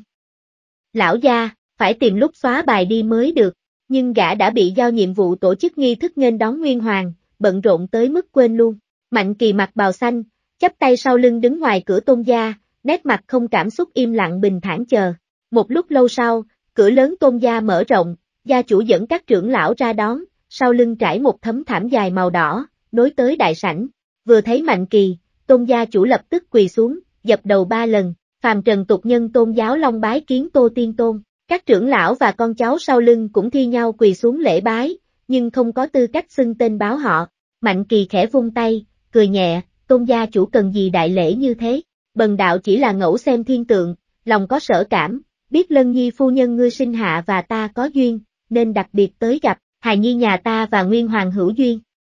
Một luồng máu nóng sộc thẳng lên đỉnh đầu tôn gia chủ, y cuốn quyết nói, mau, mau ôm con ta ra cho tô tiên tôn xem, một nha hoàng có võ công lập tức dạ to, chạy vèo vào trong nội viện, ôm thiếu chủ ra, đứng dậy đón lấy con, tôn gia chủ trong ngóng nhìn mạnh kỳ, tô tiên tôn, hài nhi nhà ta thật với người hữu duyên, tự hồ cảm ứng được gì đó, đứa bé vẫn đang khóc to bỗng dừng bạc, chuyển sang cười thanh khách, vô cùng kỳ lạ. Mạnh kỳ đi tới, cúi đầu nhìn kỹ, gẹo gẹo mấy cái, lấy ra một cái lệnh bài, trên viết Ngọc Hư Môn Hạ, mỉm cười, tôn gia chủ, ngươi có nguyện ý đưa đứa bé này cho bần đạo làm đồ đệ hay không? Nguyện, nguyện ý. Tiểu nhân cầu còn không được. Tôn gia chủ nào còn để ý phân biệt thật giả, lập tức lắp bắp trả lời, tiên duyên nếu qua, sẽ không còn tới nữa. Mạnh kỳ đặt lệnh bài vào trong tả, gật đầu, hắn nên võ đạo có thành, khoái ý ân cừu, bần đạo ban cho hắn một chữ, võ, làm tên. Ngôn ngữ không có gì đặc biệt, nhưng trước mắt tôn gia chủ lại đột nhiên hiện ra một dòng sông hư ảo, xuất hiện cảm nhận vận mệnh thay đổi, không thể không than, đây chính là đại năng chi uy, ngôn xuất pháp tùy đúng không? Khẽ sờ trán đứa bé một cái, Mạnh Kỳ thu tay về, chờ hắn 10 tuổi, cầm lệnh bài này, đưa hắn tới Côn Luân Sơn Ngọc Hư Cung. Nói xong, hắn xoay người, dưới chân kết ra tường vân, ngay lập tức độn vào trời cao, chẳng biết đi đâu, không có đòi tiền tài gì hết, lại còn muốn đưa con mình tới Côn Luân Sơn Ngọc Hư Cung, đây là nguyên hoàng thật sự rồi a. Tôn giáo long như muốn nổ tung vì vui sướng, hưng phấn, thôi thì trăm vị thịnh phóng, muôn hồng nghìn tía, vừa kích động vừa cảm khái vừa mừng như điên. Tôn gia từ con ta hưng rồi. Các thành viên còn lại của gia tộc đều chấn động, chìm trong im lặng, mãi một lúc lâu, tôn gia chủ mới cao giọng nói, nhà ta phải lập bàn thờ sống thờ Nguyên Hoàng. Nói xong, y nhíu mày nói, chuyện Nguyên Hoàng tới đây không ai được để lộ, không được nói gì ra ngoài. Đợi tới khi con ta vào Ngọc Hư cung học võ tu đạo, còn sợ gì thế nhân không biết, y không biết Nguyên Hoàng Tiên Tôn có muốn nhà mình tuyên bố chuyện này ra ngoài hay không nên cẩn thận là trên hết, khiêm tốn một chút vẫn hay hơn, dù sao sau này cũng sẽ có cơ hội khiến người ta biết. Gia phó sau lưng sắc mặt nhất thời trắng bệch, lặng lẽ rời khỏi cửa chính, lôi vạn giới thông thức phù ra, định xóa bài. Vừa mở ra, gã đã nghe thấy âm thanh báo có tin nổi lên liên tục, nãy giờ chỉ mới có chừng nửa tách trà, mà đã có cả ngàn lời bình luận, lâu chủ thật biết nói đùa, xin giúp đỡ xin giúp đỡ, vừa có một nam tử diện mạo hiên ngang, uy nghiêm lộ ra ngoài gõ cửa nhà ta, tự xưng là thiên tử đại chu, nói nhìn thấy trên người ta có mang khí vương bá, muốn lập ta làm thái tử đại chu, mau tới giúp ta kiểm tra xem là thật hay giả, các ngươi a, đang ban ngày ban mặt lại muốn nằm mơ, không nói nhiều, chính sự đường đã quyết định, để ta tới làm tể tướng, ta phải thu thập hành lý đi trường nhạc, một hòn đá kích lên ngàn tầng sóng, gia phó không ngờ bài đăng của mình lại làm bao người vui vẻ xông vào bàn luận như thế, có vẻ không có ai cho đây là chuyện thật, vì thế lau mồ hôi lạnh, xóa bài đăng. Sau đó, lại có mấy bài tương tự xuất hiện, tạo nên một mục giải trí kéo dài suốt một thời gian dài. Cung luân chân núi, thành trì phồn thịnh, Vu Bán Sơn và Tề Cẩm Tú thử tu luyện tinh hỏa đại pháp, rõ ràng cảm nhận được sự thần diệu vô cùng của nó, quả nhiên là thần công giúp người lên hàng tiên bang. Nếu trước đây có nó, hai chúng ta đâu có lãng phí bao nhiêu năm như thế. Vu Bán Sơn cảm khái nói, tiên giới quả thật không giống phàm tục, Tề Cẩm Tú cũng rất vui, một thần công như vậy mà chỉ mất có mấy lượng bạc. Cô lướt mắt lung tung, bỗng nhìn thấy ngoài cửa số có một người, mặc đạo bào màu xanh, chắp tay sau lưng mà đứng, khí chất thản nhiên thoát tục, vẻ mặt ẩn hàm buồn bã. Nguyên, Nguyên Hoàng. Tề Cẩm Tú bật thốt, truyền thuyết ở ngay tại đây. Vu Bán Sơn ngạc nhiên nhìn qua, cũng nhìn thấy bóng người quen thuộc kia, trở nên lắp bắp, Tô, Tô Tiên Tôn. Ngọc Hư cung mây mù dày đặc không biết đang ở chỗ nào, nhưng trưởng giáo Tô Tiên Tôn lại xuất hiện ở ngoài cửa. Mạnh Kỳ nhìn bọn họ, song không nhìn ra tí ti nào dấu vết của Trương Viễn Sơn và Phù Chân Chân, trải qua hai lần chuyển thế, tam hồn thay đổi, thoát khỏi chân thật giới, sớm đã là hai con người hoàn toàn mới. Dù có đánh thức lại ký ức luân hồi của họ, quá lắm cũng chỉ để biết được nguyên do, nhận thức của bản thân họ đã hoàn toàn thay đổi. Mình là hướng đến kháng cự đoạt xá để sống lại, thoát khỏi kiếp con cá mà sống lại, làm sao nhẫn tâm xóa đi ký ức và nhân cách của Vu Bán Sơn và Tề Cẩm Tú. Đây cũng chính là lý do hắn kéo Vu Bán Sơn và Tề Cẩm Tú đi đến Côn Luân Sơn, nhưng vì không tìm được điểm mấu chốt, nên lần thứ hai mới không cho bọn họ tới gần. Mất đi thì chung quy cũng đã mất đi, trừ phi đăng lâm bỉ ngạn. Mạnh kỳ nhắm chặt mắt, ngữ khí mơ hồ hỏi, các ngươi là ai, hỏi ngộ à nha. Vu Bán Sơn và Tề Cẩm Tú ngơ ngác, nhưng vẫn thành thật đáp, vãn bối Vu Bán Sơn, vãn bối Tề Cẩm Tú, Vu Bán Sơn, Tề Cẩm Tú, Mạnh Kỳ yên lặng đọc thầm tên của họ, thở dài một hơi. Vu Bán Sơn và Tề Cẩm Tú không biết tại sao Mạnh Kỳ lại thở dài, là vì tư chất hai người mình không đủ, hay là vì tính tình có gì đó, nên làm Nguyên Hoàng tiếc hận cảm khái. Sau một lúc lâu, Nguyên Hoàng thông thả đi hai bước, bình thản nói, các ngươi từ hạ giới phi thăng tới, vừa vặn lại tới Côn Luân Sơn của ta, cũng coi như hữu duyên, từ hạ giới phi thăng tới. Mấy chữ ấy như những tiếng sấm, nổ vang trong lòng Vu Bán Sơn và Tề Cẩm Tú, khiến đầu óc họ lùng bùng, mỗi giây mỗi khắc giữ kín bí mật của họ trở nên hoàn toàn không có ý nghĩa. Nhưng mà nghĩ lại, Nguyên Hoàng trong tiên có thể xưng tôn, thần thông quảng đại, pháp lực vô biên, làm sao không biết vô cùng bên trong Côn Luân Sơn. Hắn không biết hai người mình đến từ hạ giới mới là kỳ quái. Hai người vừa kiềm chế tâm tình, liền thấy bàn tay, Nguyên Hoàng, tô mạnh sáng lên ức vạn hào quang, sắc màu vàng ống ánh, ngưng tụ thành một đóa kim liên, kim liên thu nhỏ lại, hóa thành một quyển kim thư, nhẹ mà không phải hư ảo, là thật sự, hư không tạo vật. Hư không tạo vật. Vu Bán Sơn và Tề Cẩm Tú bốn con mắt không kìm được trừng lớn, qua xem vạn giới thông thức phù, họ cũng đã biết được một vài năng lực nghịch thiên. Hư không tạo vật chính là một trong số đó. Theo một ít điển tịch thượng cổ ghi lại, muốn vi phạm pháp tắc, vi phạm logic hư không tạo vật, trưởng khống nhập vi cấp truyền thuyết chỉ là cơ sở, muốn thể ngộ về mặt tạo vật phải hiểu rất sâu về pháp lý, gần sát đại đạo, đây cũng là một trong những nguyên do mà cảnh giới của người có đại thần thông này được gọi là tạo hóa. Nguyên Hoàng, Tô Mạnh chẳng lẽ đã vượt qua giai đoạn cuối cùng của biển khổ? Mạnh Kỳ cười nhẹ, thay đổi vật chất và hư không tạo vật thật sự còn cách nhau một khoảng nữa. Quyển sách vàng từ từ bay qua, đây là Nguyên Thủy Kim Chương, Bát Cửu Huyền Công, Mở Khiếu Thiên và Ngoại Cảnh Thiên, các ngươi tự chọn cái mà tu hành. Nếu có gì thắc mắc, cứ dùng vạn giới thông thức phù bấm tới dãy số này, gia nhập nhóm tên là Ngọc Hư Môn Hạ, trao đổi võ đạo, báo tên mình vào là được. Thấy Vu Bán Sơn và Tề Cẩm Tú mặt sáng bừng lên, định quỳ xuống lễ bái, Mạnh Kỳ liền phất tay nói, tạm thời chỉ tính là Ngọc Hư ký danh, gọi bần đạo là trưởng giáo là được. Các ngươi mới vào chân thật giới, trước đi du lịch một phen, ba năm sau sẽ làm kiểm tra vào giáo, xem xem có thể chính thức xếp vào môn tường hay không. Vu Bán Sơn và Tề Cẩm Tú không chút cảm thấy không vui, ngược lại đều kích động và mừng rỡ. Đạo môn thánh địa, tiên gia động thiên, làm sao mà dễ tiến vào, trước ký danh, đi du lịch lịch lãm, sau đó kiểm tra khảo giáo, thế là đúng rồi, đa tạ trưởng giáo tiên tôn. Hai người cùng khấu tạ, Mạnh Kỳ nhìn họ, búng tay một cái. Một nhúm cái gì đó mông lung như nước sáng rọi bay ra, nước làm đôi, chui vào mi tâm của Vu Bán Sơn và Tề Cẩm Tú, nổ tung thành những dòng chữ, những hình vẽ, là một môn bí thuật. Đây là bí pháp bần đạo lấy được khi tìm hiểu thần thông Phật môn hàng tam thế minh vương, có thể rèn luyện linh giác, phản chiếu bản thân, tu luyện tới mức nhất định, hai người có thể làm bạn với nhau, khi kích phát khí cơ, có thể chiếu thấy những ký ức túc thế luân hồi, tạo cơ sở sau này thể ngộ ta là ai, ai là ta. Giọng mạnh kỳ trở nên mơ hồ. Vu Bán Sơn và Tề Cẩm Tú bị bản cải tiến, biến thiên kích địa đại pháp, làm cho rúng động, vô thức chìm đắm vào trong đó, đến khi tỉnh táo lại, ngoài cửa sổ đã chẳng còn ai. Nếu không phải trong tay vẫn còn đang cầm sách vàng, trong đầu vẫn còn bí pháp, thì hai người đã nghĩ mình vừa mới ngủ mơ. Nhưng chuyện thế này, dù có là mơ cũng làm người ta không thể nào tin được. Nằm mơ quá lắm chỉ dám ước mình tìm được Ngọc Hư Cung trong mây mù, lấy được tiên duyên, nào dám hy vọng xa vời Nguyên Hoàng Tô Tiên Tôn tự mình tới cửa, chư giới duy nhất.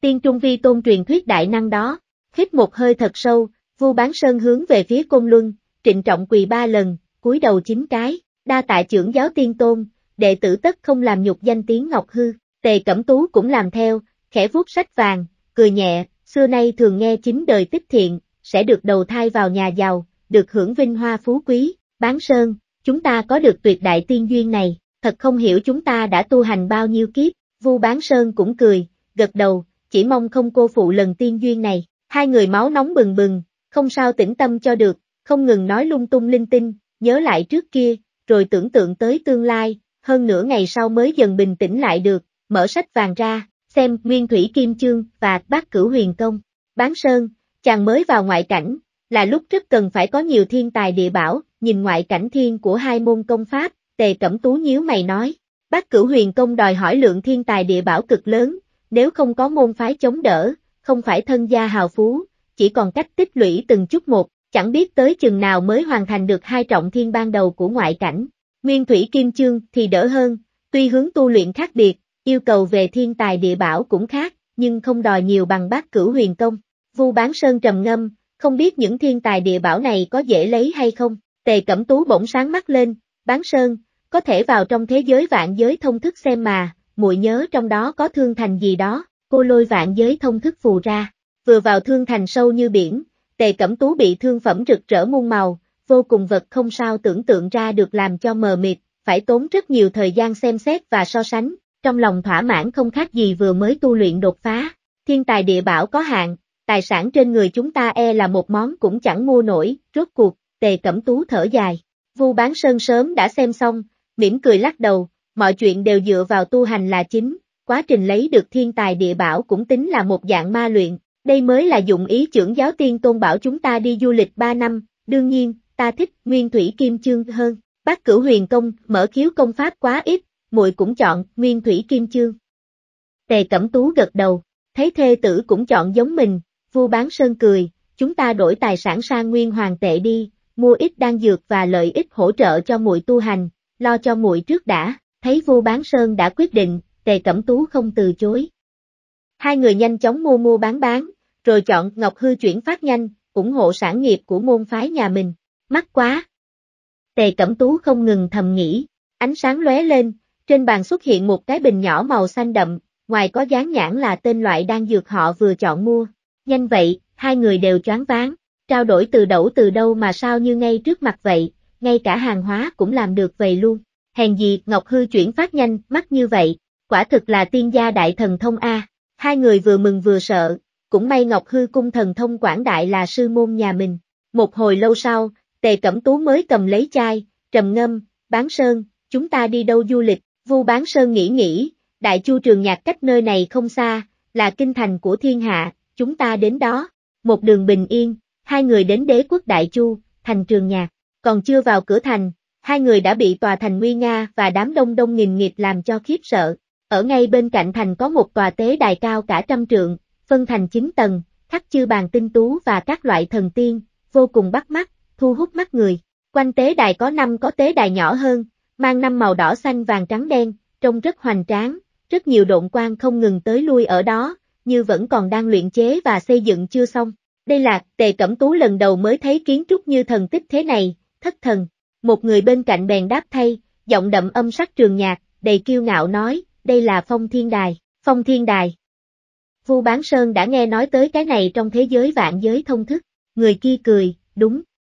Lấy nhân đạo phong thiên chi đài, đương kim thiên tử tham khảo nhân hoàng cổ Pháp, cho truyền thuyết đại năng và rất nhiều tiên nhân cùng luyện chế xây dựng, năm tế đài xung quanh là đại diện cho ngũ phương ngũ đế, lấy kỳ nhân đạo vi tôn, khi xây dựng thành công, tất cả những tiên quan tinh thần liên quan đều sẽ do nhân hoàng sắc phong, phẩm giai cao hay thấp, thực lực mạnh hay yếu, sẽ dựa trên cấp độ điển lễ tế tự của Đại Chu. Sau này những người sau khi chết muốn phong thần, muốn ban thành sao, muốn nắm giữ quyền lực trời đất, thì đều phải nguyện trung thành với Đại Chu, đi theo nhân hoàng. Giọng điệu rất kiêu ngạo tự hào, Vu Bán Sơn nghe mà trợn mắt há hốc mồm, trong vạn giới thông thức giới thiệu rất qua loa đại khái, giờ mới được nghe chi tiết, thật là đáng sợ. Lấy nhân đạo thống thiên, sắc phong tiên quan, nghe thì rất đã, nhưng người ta sẽ để mặc cho nhân hoàng làm việc này sao? Dù bây giờ thiên đình đã không còn, Phật gia la giáo, yêu tộc ma môn sẽ mặc kệ cho đại chu lấy nhân đạo thống thiên sao? Không hiểu vì sao, Vu Bán Sơn tự nhiên cảm thấy việc này nhất định có bí ẩn.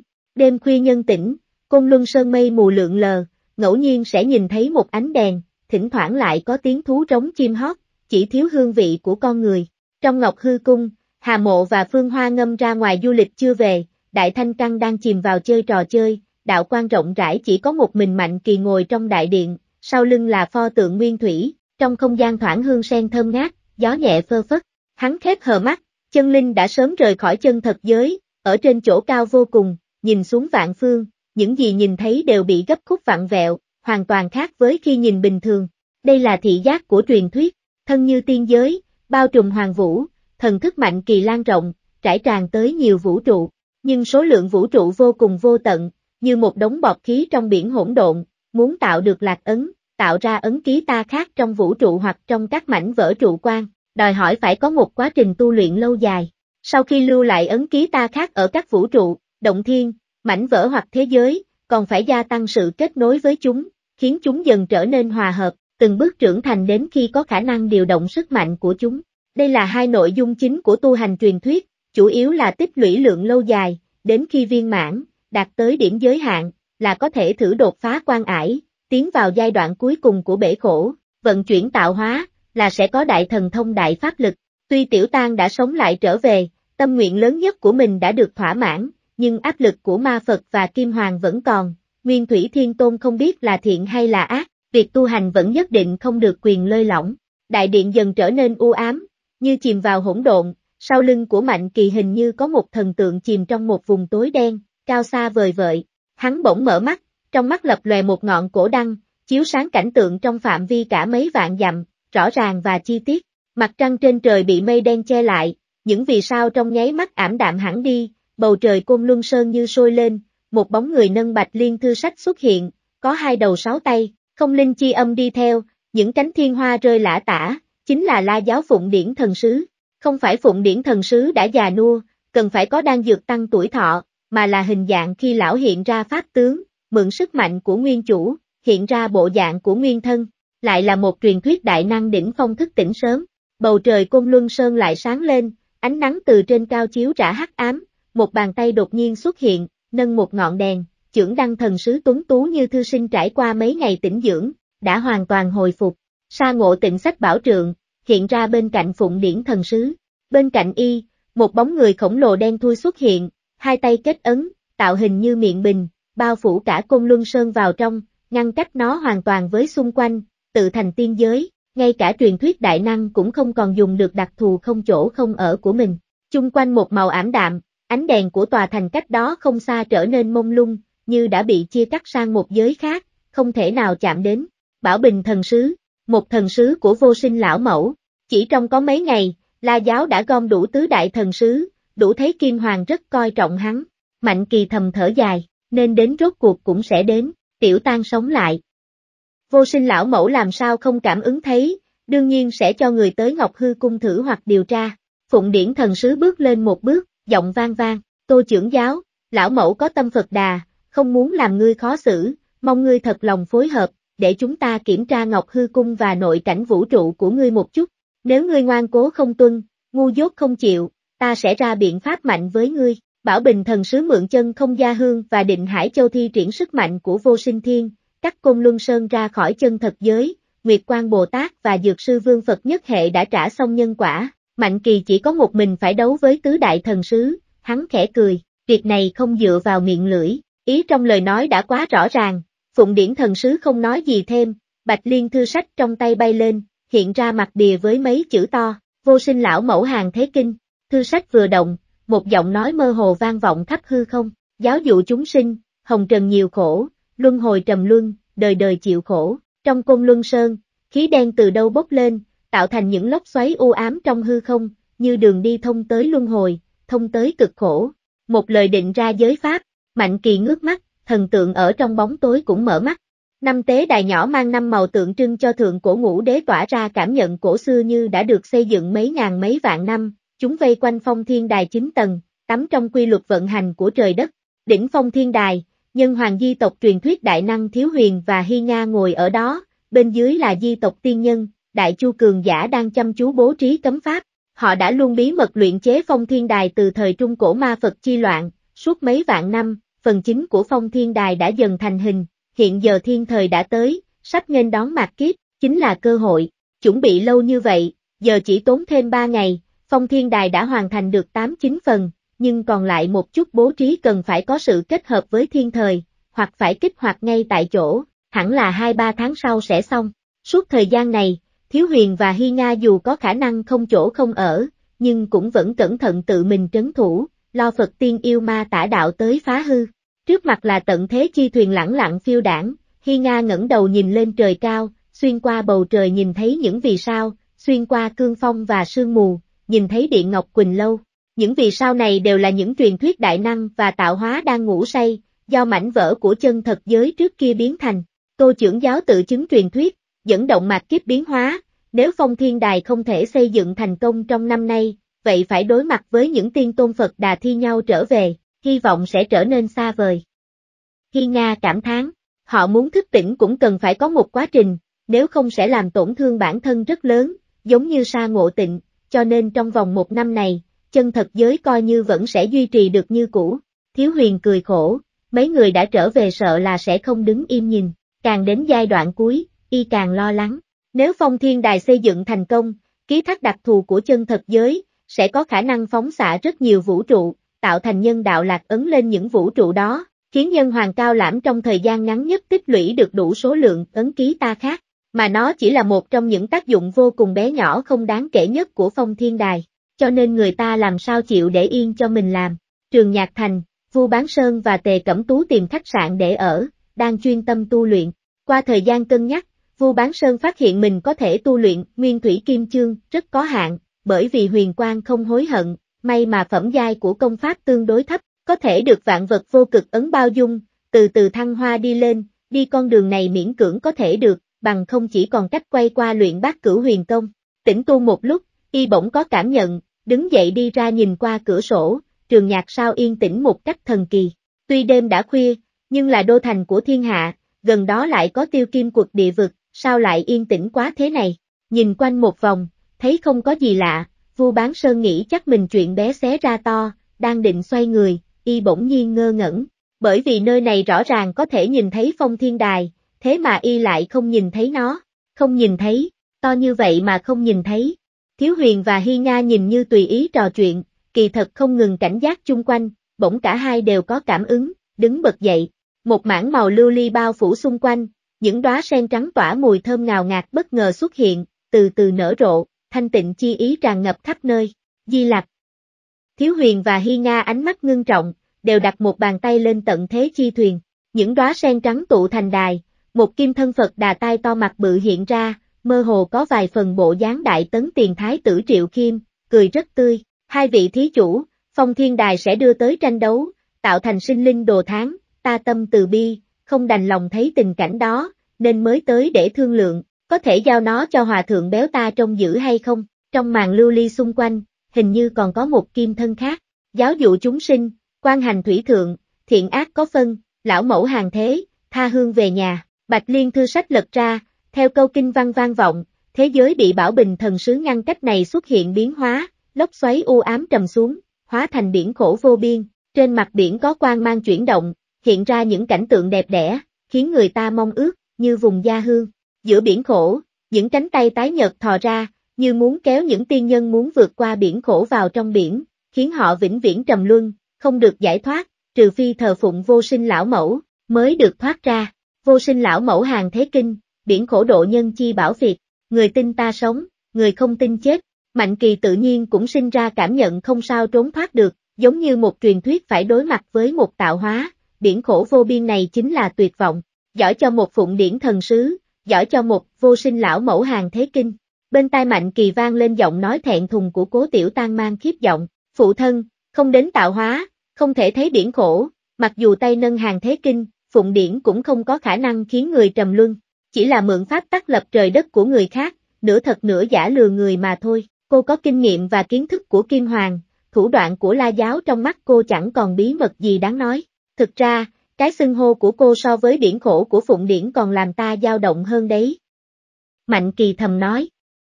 Thực ra trong lòng hắn cũng đã biết điều này. Hắn đứng dậy, như thần linh bước ra khỏi hỗn độn, quanh người hiện ra một dòng sông hư ảo đang lặng lẽ chảy, không biết từ đâu mà đến, không biết chảy tới phương nào. Giới này không nên có biển khổ. Mạnh kỳ giơ hai ngón tay song song điểm ra, như sáng thế chi thần chư quả chi nhân đang lập quy củ cho vạn giới. Tiếng nổ vang vọng, những cánh tay tái nhật thi nhau tan biến, lốc xoáy u ám tạo thành biển khổ tất tất tan rã, không có trầm luân cực khổ đối lập, những cảnh tượng tốt đẹp bên trên trở nên không có gì đặc biệt. một lời có thể thành thiên hạ pháp, nếu so với thao túng vận mệnh, không chế quy tắc, trong giới truyền thuyết, không ai có thể bằng được mạnh kỳ có đặc thù bỉ ngạn, biển khổ vỡ tan, sóng triều cuốn ngược, hất văn bảo trượng, làm nghiêng miệng bình, kích phát ánh đèn tam đại thần sứ.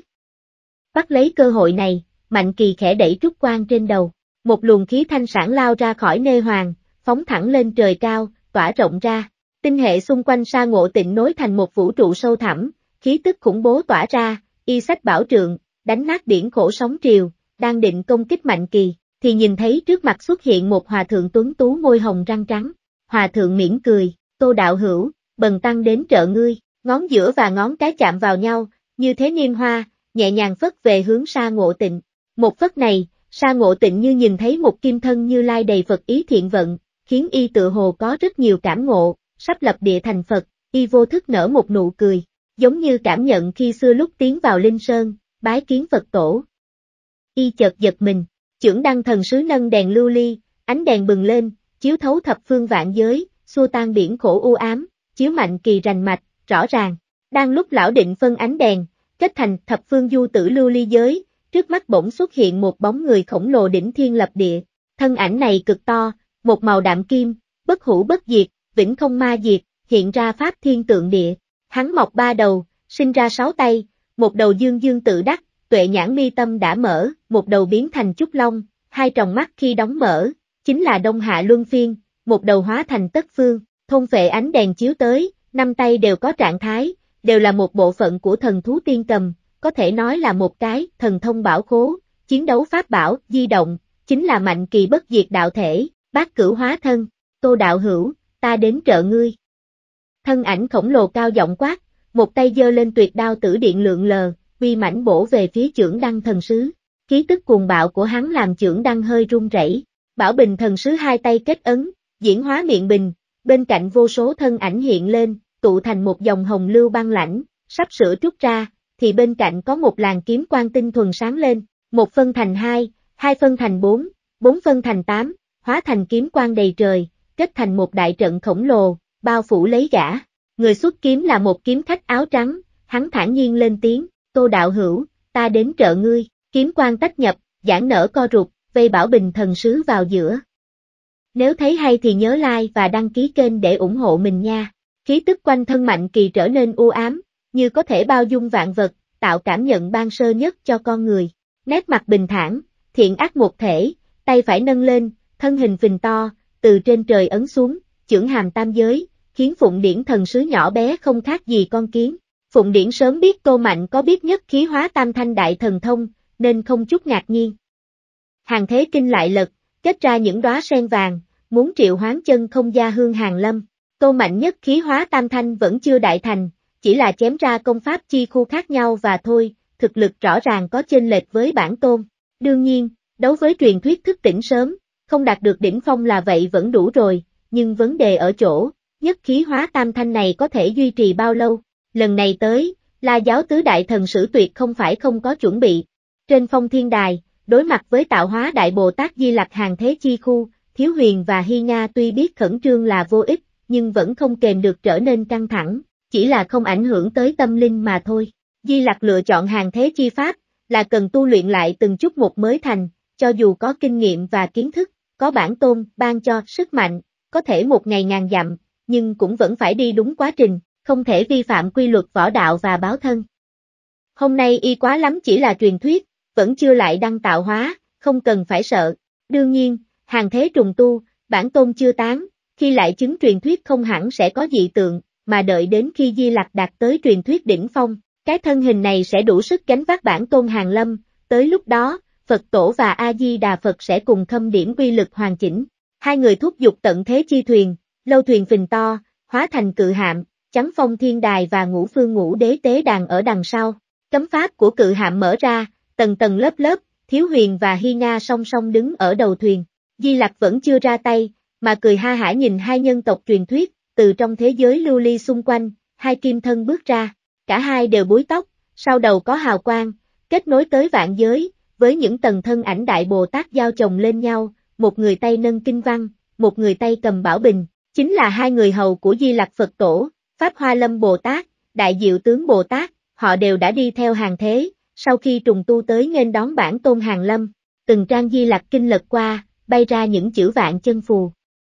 Mỗi một thân ảnh của Pháp Hoa Lâm Bồ Tát đều cầm Phật môn Pháp ấn, miệng niệm kinh văn, phát ra tuệ quang, cùng nối thành một đạo tương lai độ thế Phật quang, bắn tới tận thế chi thuyền. Đại diệu tướng Bồ Tát Nghiên Bảo Bình, từ trong trào ra một hàng hà sáng rực rỡ, dài vô cùng vô tận, ào ạt xông về phía Thiếu Huyền và Hy Nga. Quang mang tỏa ra, Phật quang và hằng hà cùng đánh trúng tận thế chi thuyền, kích thích huyền hoàng công đức bắn xuống như mưa, màn thủy quang trơn tru gợn lên từng đợt. Dù chưa được hoàng công, nhưng là bảo vật luyện chế để vượt qua kỷ nguyên kết thúc, tận thế chi thuyền vẫn đủ sức chống đỡ, không chút tổn thương. Thiếu huyền và Hy Nga liếc nhau, nhìn thấy được sự kiên định trong mắt nhau. Sau đó, một người thúc giục tận thế chi thuyền, một người lấy ra nhân hoàng ấn tỷ, kết ấn pháp, nhấn xuống một cái, oanh long long, trong hoàng cung trường nhạc vụt bắn ra một đạo kiếm quang đạm kim, thẳng vào trong phong thiên đài, tạo nên một âm thanh nặng nề, đất trời vì nó mà lay động, trên trời cao những tầng hư ảnh hiện lên,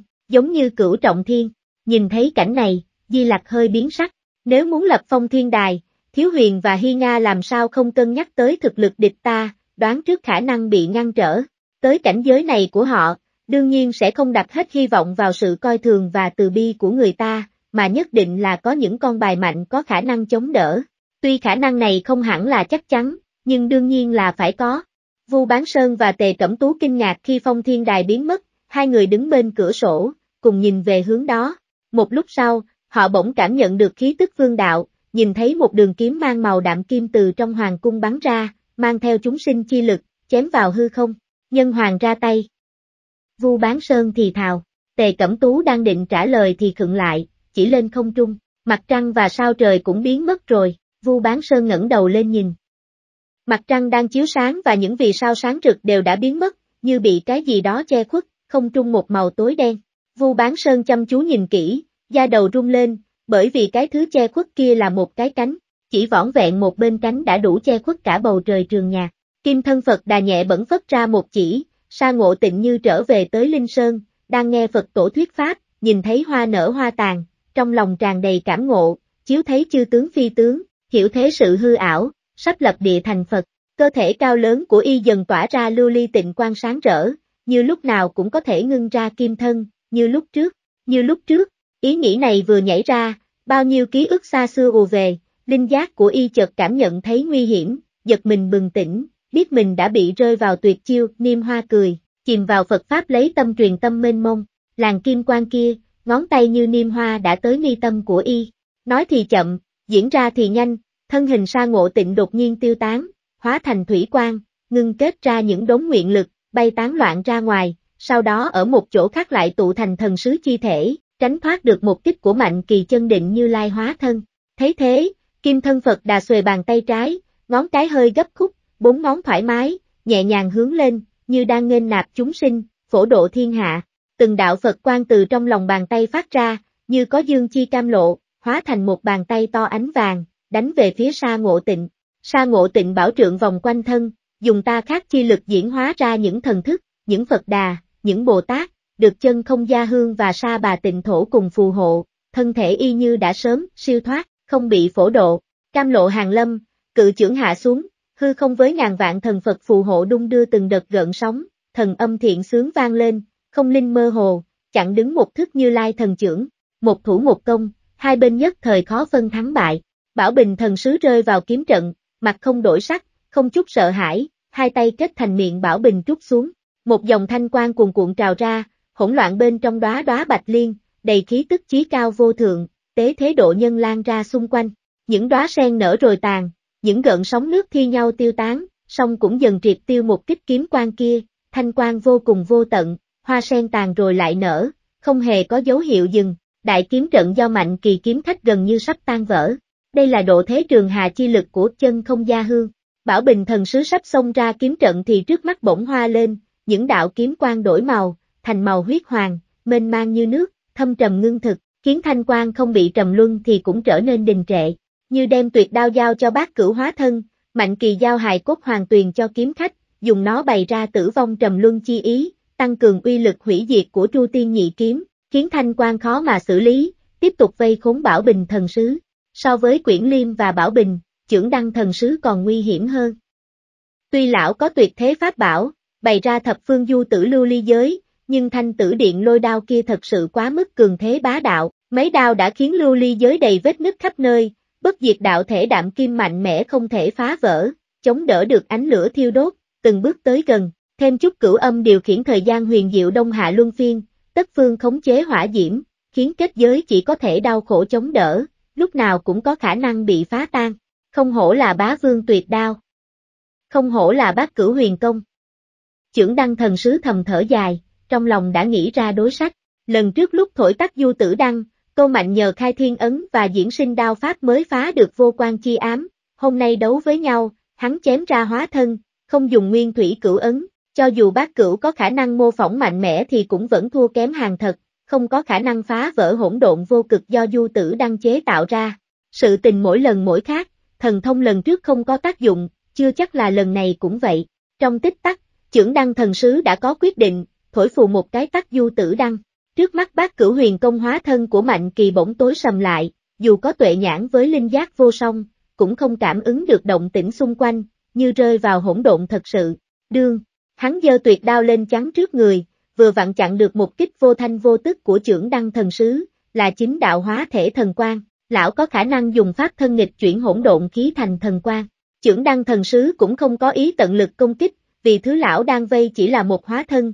không cần phải khiến mình bị thương để trừ diệt, chỉ cần kéo dài đủ lâu, hóa thân sẽ tự tiêu tán. Những đóa sen trắng hạ xuống, thanh quang lấp lóe xung quanh, mang đến cực lạc siêu thoát, chân không gia hương đầy yên tĩnh, trừ khử phiên thiên ấn của Mạnh Kỳ. Thấy mình đã chặn được công kích, trưởng đăng, Bảo Bình và Quyển Liêm cũng chiến đấu ổn định, chống đỡ được tam thanh tô mạnh hóa ra, phụng điển thần sứ thầm thở vào, chuyện đã thành, chỉ cần chống đỡ một lúc, nhất khí hóa tam thanh vốn không thể duy trì được lâu, khi hóa thân biến mất, bốn thần sứ vây công, còn sợ không chế ngự được tô mạnh hay sao? Đúng lúc này, lão nghe thấy giọng nói của Mạnh Kỳ, đủ rồi, cái gì đủ rồi?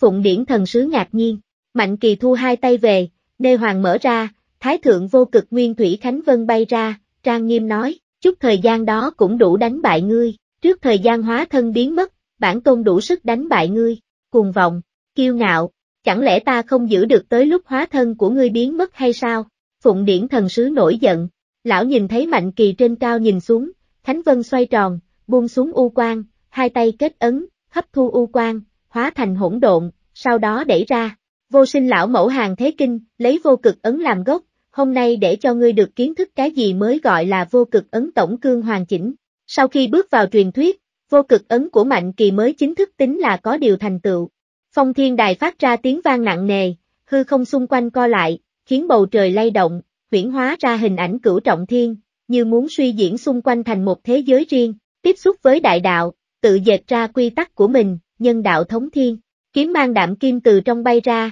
hiện ra hư ảnh cao lãm mặt minh hoàng bào, đầu đội bình thiên quang, hiên ngang đứng thẳng, tay sách nhân hoàng kiếm, tay kia nâng đế hoàng tỷ, chúng sinh chi lực nồng đậm quấn quanh, như ánh đèn vạn nhà. Nhân đạo tức thiên, sắc phong thần quỷ, nay trẫm cao lãm, lấy quyền thống ngự đại chu cũng là vạn phương thiên tử chi thân, chiêu cáo chư thiên, nhân hoàng di tộc thiếu huyền, công cao đức hậu, ân trạch nhân tộc, thể tuất sinh linh, đương vi chúng tinh chi chủ, tử khí công sư, sắc phong như vậy, bầu trời đổi màu, khí tiến khắp nơi, chui vào cơ thể thiếu huyền, khí tức của y lớn mạnh hẳn lên, cơ hồ cảm nhận được dòng sông thời gian cọ rửa và cảm nhận khó chịu khi ở trong biển khổ. Xung quanh vô số vì sao hiện lên, cúi đầu với y. Phong thiên đài tuy vẫn chưa toàn công, nhưng mấy vạn năm luyện chế và xây dựng, sớm đã có vài phần thần dị, sau khi định ra ngũ phương ngũ đế tế đài, là đã có thể sắc phong thần tiên, nhưng chỉ giới hạn trong phạm vi ngàn dặm quanh tế đài, không thể rời khỏi phạm vi trường nhạc,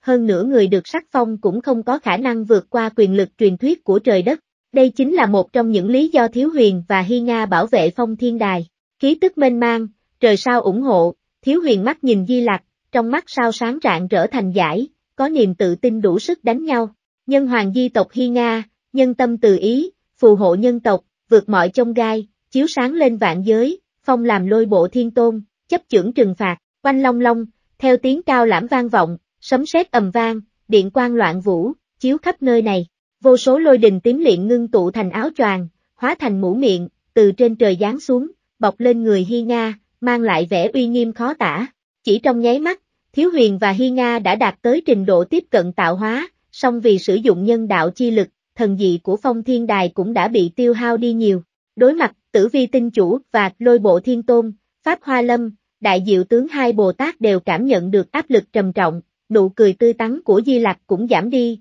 lão xuề bàn tay, tay kia sách nhân chủng túi vương ra, lão muốn thể hiện uy lực của mình. Nam Mô A Di Đà Phật, Di Lặc khẽ niệm, Nam Mô A Di Đà Phật, Di Lặc lộ vẻ từ bi, kiểu ta không vào địa ngục thì ai vào địa ngục, vung tay ném túi nhân chủng ra, cái túi đón gió biến hóa, miệng túi mở to, từng đóa sen trắng bay ra, như muốn tiếp dẫn tất cả sinh linh của cả thập phương tam giới vào trong Phật quốc. Vật này hậu thiên mà thành, độ hết tất cả hữu duyên trên thế gian. Quanh người thiếu huyền bay ra những ngôi sao lấp lánh, 365 vì sao kết thành chu thiên đại trận, bao quanh người y, chống đỡ lực hút. Mỗi vì sao đều quán thông vạn giới, tự có hình chiếu tinh hà, vũ trụ khác nhau, là cổ tinh, vì đi theo tiên giới mà sinh ra, số lượng là có hạn, mỗi viên đều tỏa ra khí tức mạnh mẽ, tinh quang như thủy, đại trận sâm nghiêm, thế chụp xuống của túi nhân chuẩn bị khựng lại. Thực lực của Thiếu Huyền bây giờ đã trở thành áp đảo Pháp Hoa Lâm và Đại Diệu Tướng, đấu với Phật Tổ Di Lặc tương lai và túi nhân chủng cũng không chịu thua kém chút nào. Di Lặc chỉ tay một cái, cất giọng trang nghiêm, hợp, trên đỉnh đầu và dưới chân Thiếu Huyền và Hy Nga như có cái vòng vô hình khép lại. Phanh, những hình chiếu vì sao quanh người Thiếu Huyền bị ép tới tán loạn, bị túi nhân chủng chụp lấy, cố gắng chống cự ở miệng túi, song vẫn từ từ bị hút vào bên trong. Đương nhiên, một phần lý do cũng là vì phong thiên đài chưa hoàn chỉnh, không cung cấp được cho thiếu huyền sức mạnh đầy đủ của tử vi tinh chủ. Bên kia, Hy Nga dùng cả hai tay mà kéo, tận thế chi thuyền vang vọng, điện quang quấn quanh, bảo vệ cô khỏi bị túi nhân chủng hấp thu. Nhưng Pháp Hoa Lâm và Đại Diệu Tướng Bồ Tát đã thi triển thần thông, đánh tới Phật quang, trút xuống hàng hà, khiến cô đỡ trái hở phải, hết sức gian nan. Mặc dù không chỗ không ở, nhưng cũng không thể nào thoát nổi thế bị vây này. Di Lặc khẽ vỗ vào đùi, đài sen trắng bay tới trước, xung quanh có những chữ vạn vàng, những đóa sen và Phật âm thiện sướng vòng quanh. Y thò ra một bàn tay, hóa thành cự trưởng, chụp vào phong thiên đài,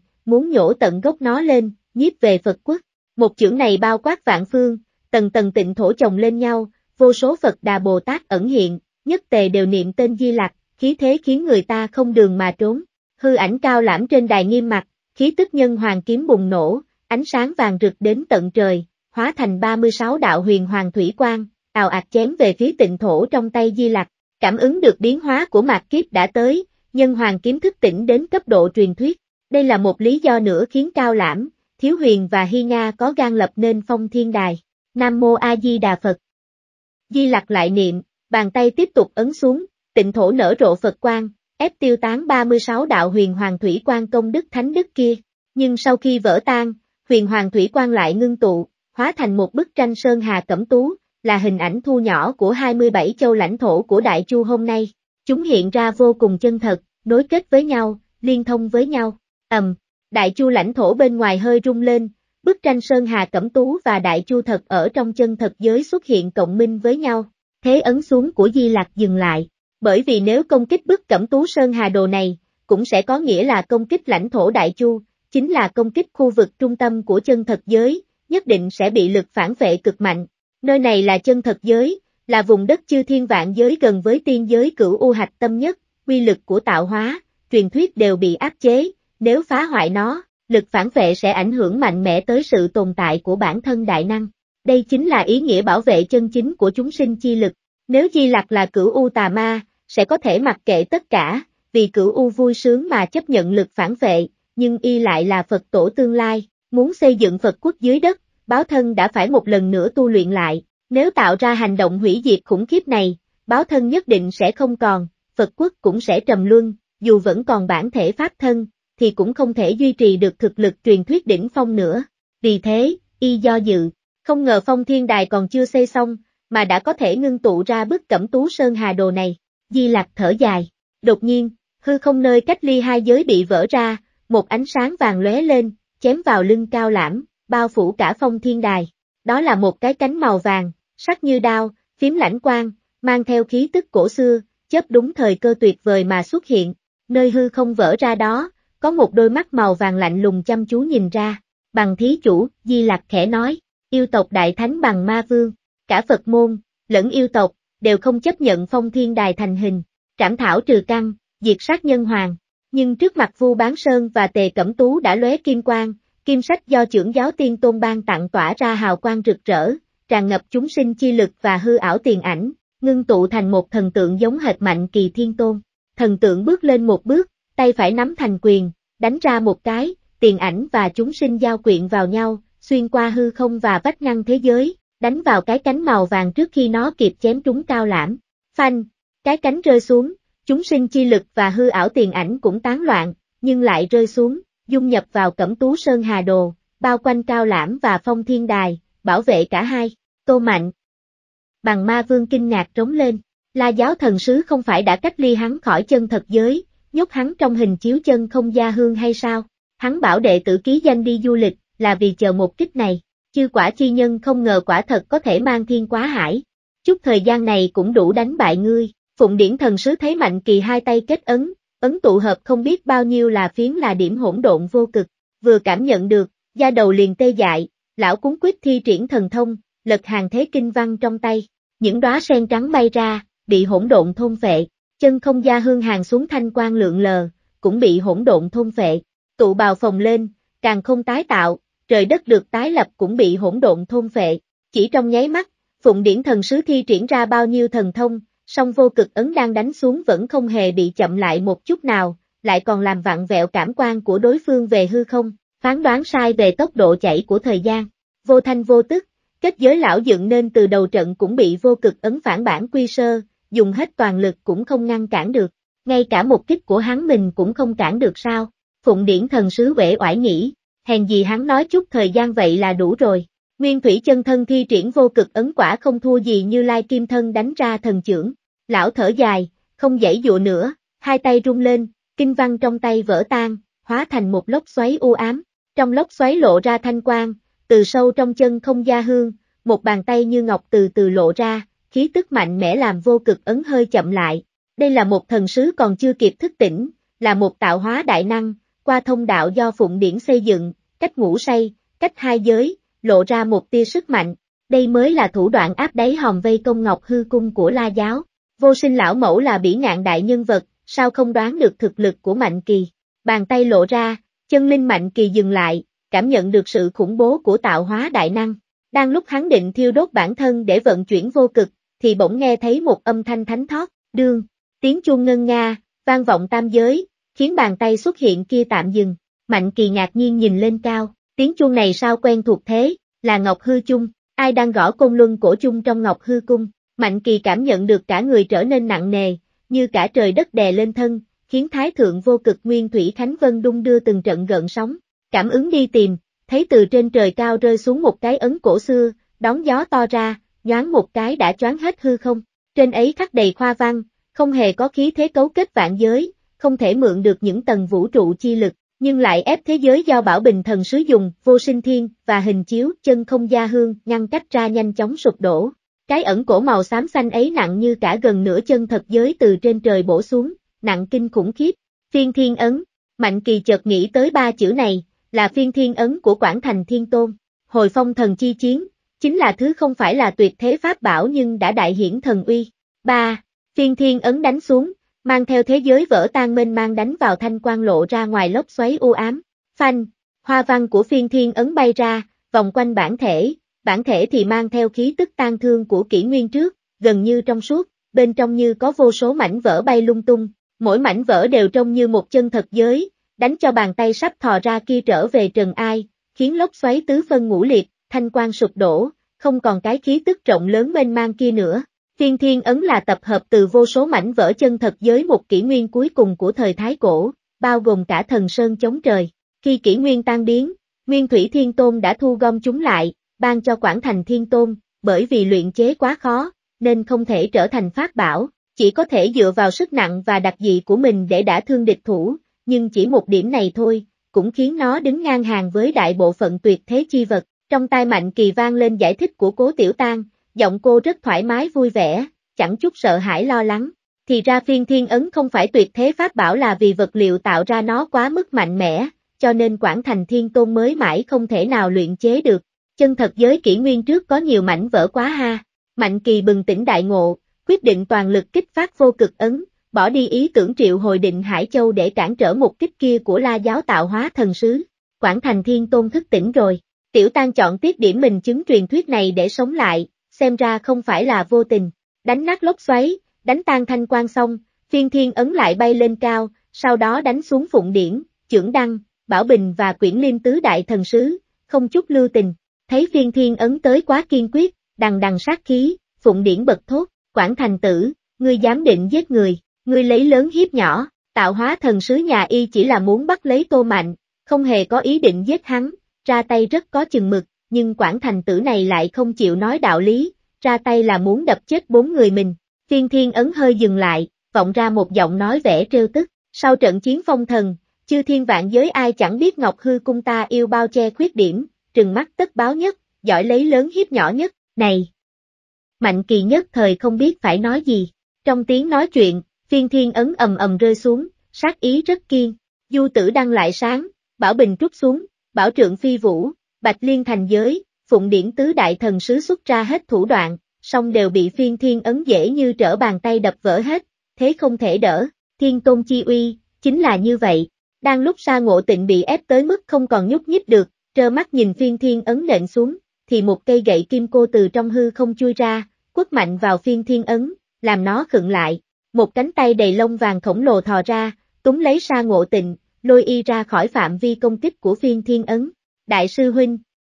Sa ngộ tịnh kêu lên kinh hỉ, thân hình biến mất, bắt lấy cơ hội này, trưởng đăng tam đại thần sứ độn ra khỏi thế giới cách ly, bỏ trốn mất dạng. Mạnh kỳ thì bị lời nói của Quảng Thành Thiên Tôn làm cho sững người, mà hắn cũng không định chọc giận vô sinh lão mẫu, nên không ra tay ngăn cản. Cẩm tú Sơn Hà Đồ đã mở, Cao Lãm và Phong Thiên Đài hòa vào làm một, muốn cướp hoặc hủy cái tế đàn này, thì phải đánh vỡ bức tranh. Mà đánh vỡ bức tranh chính là đánh vùng đất hạch tâm của chân thật giới, lực phản vệ đáng sợ của nó làm các đại năng và người đại thần thông không ai dám vọng động. Nhất là nếu làm vùng đất hạch tâm của chân thật giới sụp đổ, rất có khả năng tạo thành phản ứng dây chuyền, khiến thiên đình rơi xuống khi chưa tới lúc kỷ nguyên chung kết xuất hiện, như vậy sẽ không ai còn có cơ hội nữa. Bằng ma vương lạnh lùng nhìn phong thiên đài và cao lãm, hừ lạnh, đây là thứ cuối cùng dựa vào đấy hả? Cẩm tú Sơn Hà Đồ không phải là không thể phá giải, chỉ cần chiếm được một châu, loại bỏ sự thống trị ở đó, Sơn Hà địa lý đối ứng sẽ biến mất,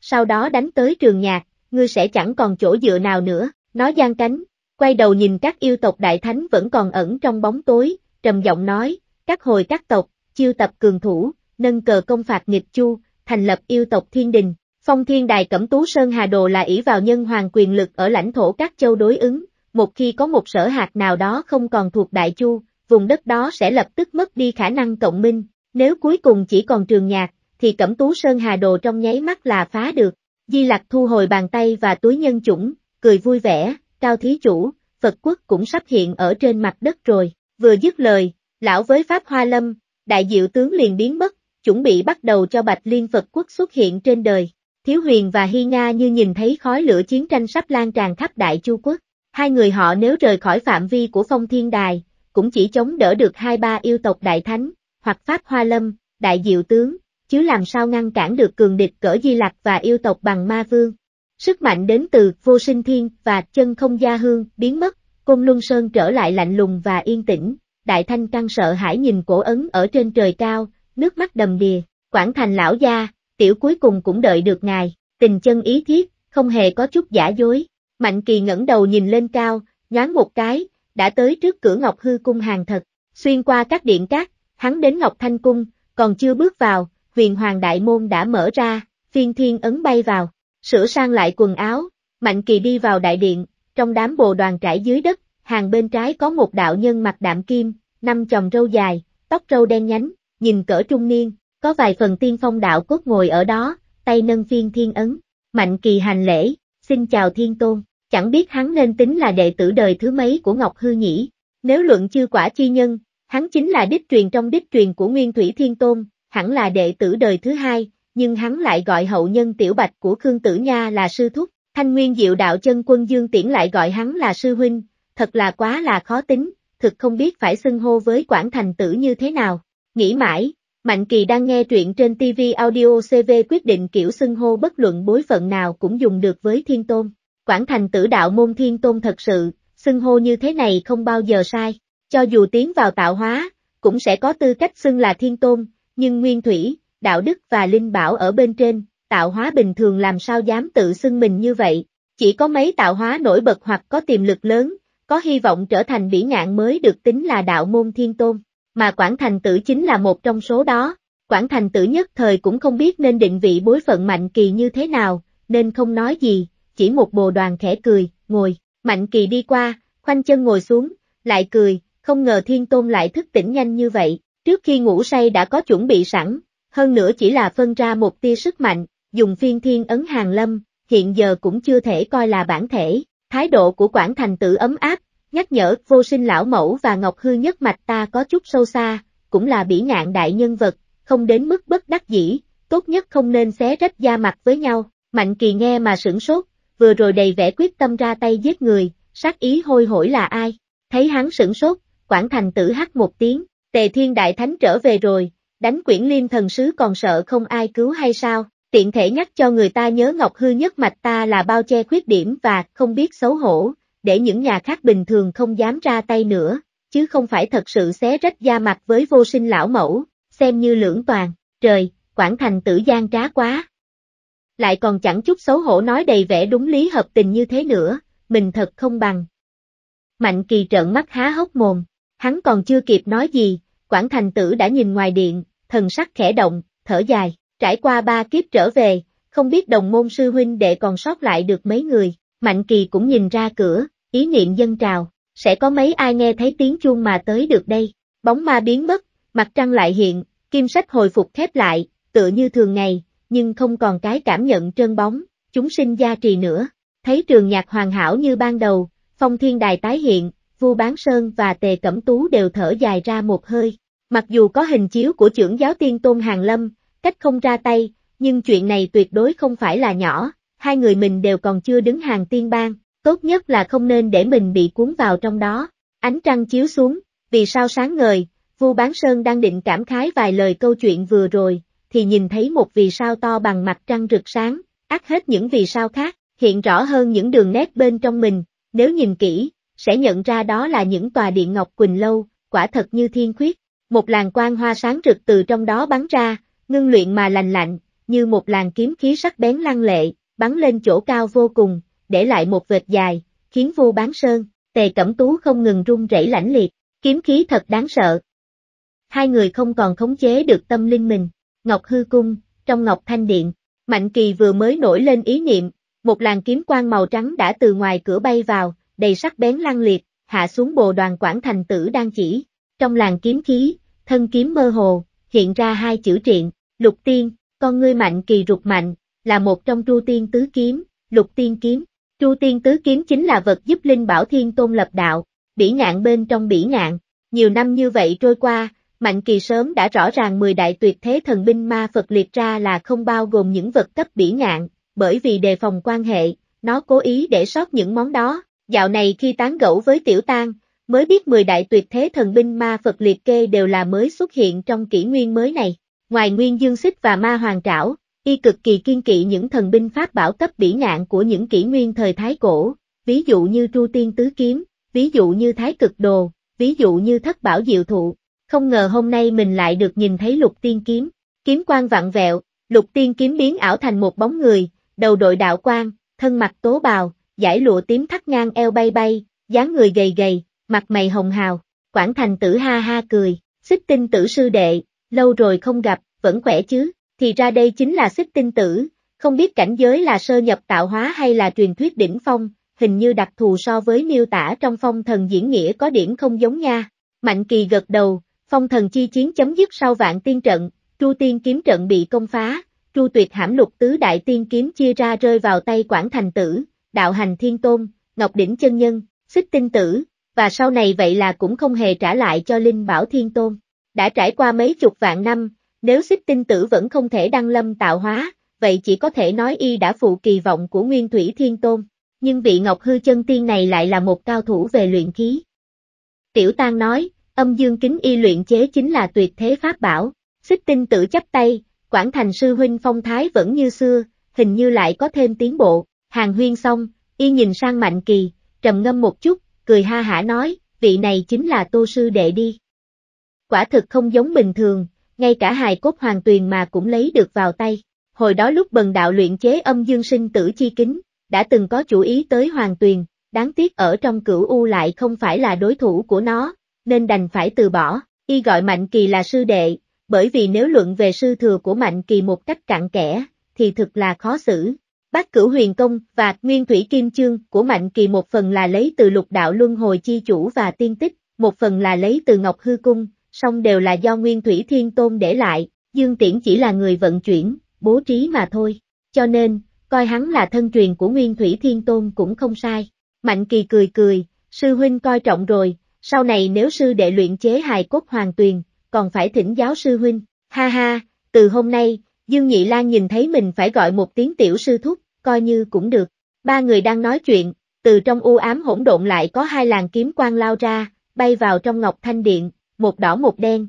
đều mang tới cảm nhận trời đất sụp đổ, vạn vật tan biến, là hai thanh kiếm hãm tiên và tuyệt tiên. Dùng hai thanh tiên kiếm này, Ngọc Đỉnh Chân Nhân và Đạo Hành Thiên Tôn cũng có thể ngủ say ở trong hỗn độn. Hai người một ngạo khí nội liễm, lãnh đạm nhưng không ngạo mạn, giống kiếm khách hơn là đạo sĩ, một người luôn mỉm cười, đầu đội trúc quan, đạo bào màu xanh không dính bụi trần. Xin chào Quảng Thành Sư Huynh, xin chào Xích Tinh Tử Sư Huynh. Hai người chắp tay, lên tiếng chào, chào Ngọc Đỉnh chân nhân là huynh trước, sau đó là xích tinh tử, và gọi Mạnh Kỳ là sư đệ. Ngay cả Chu Tiên Tứ Kiếm đều sống qua vạn cổ, nếu nói không phải Nguyên Thủy Thiên Tôn định sẵn, ngay cả ta cũng không tin.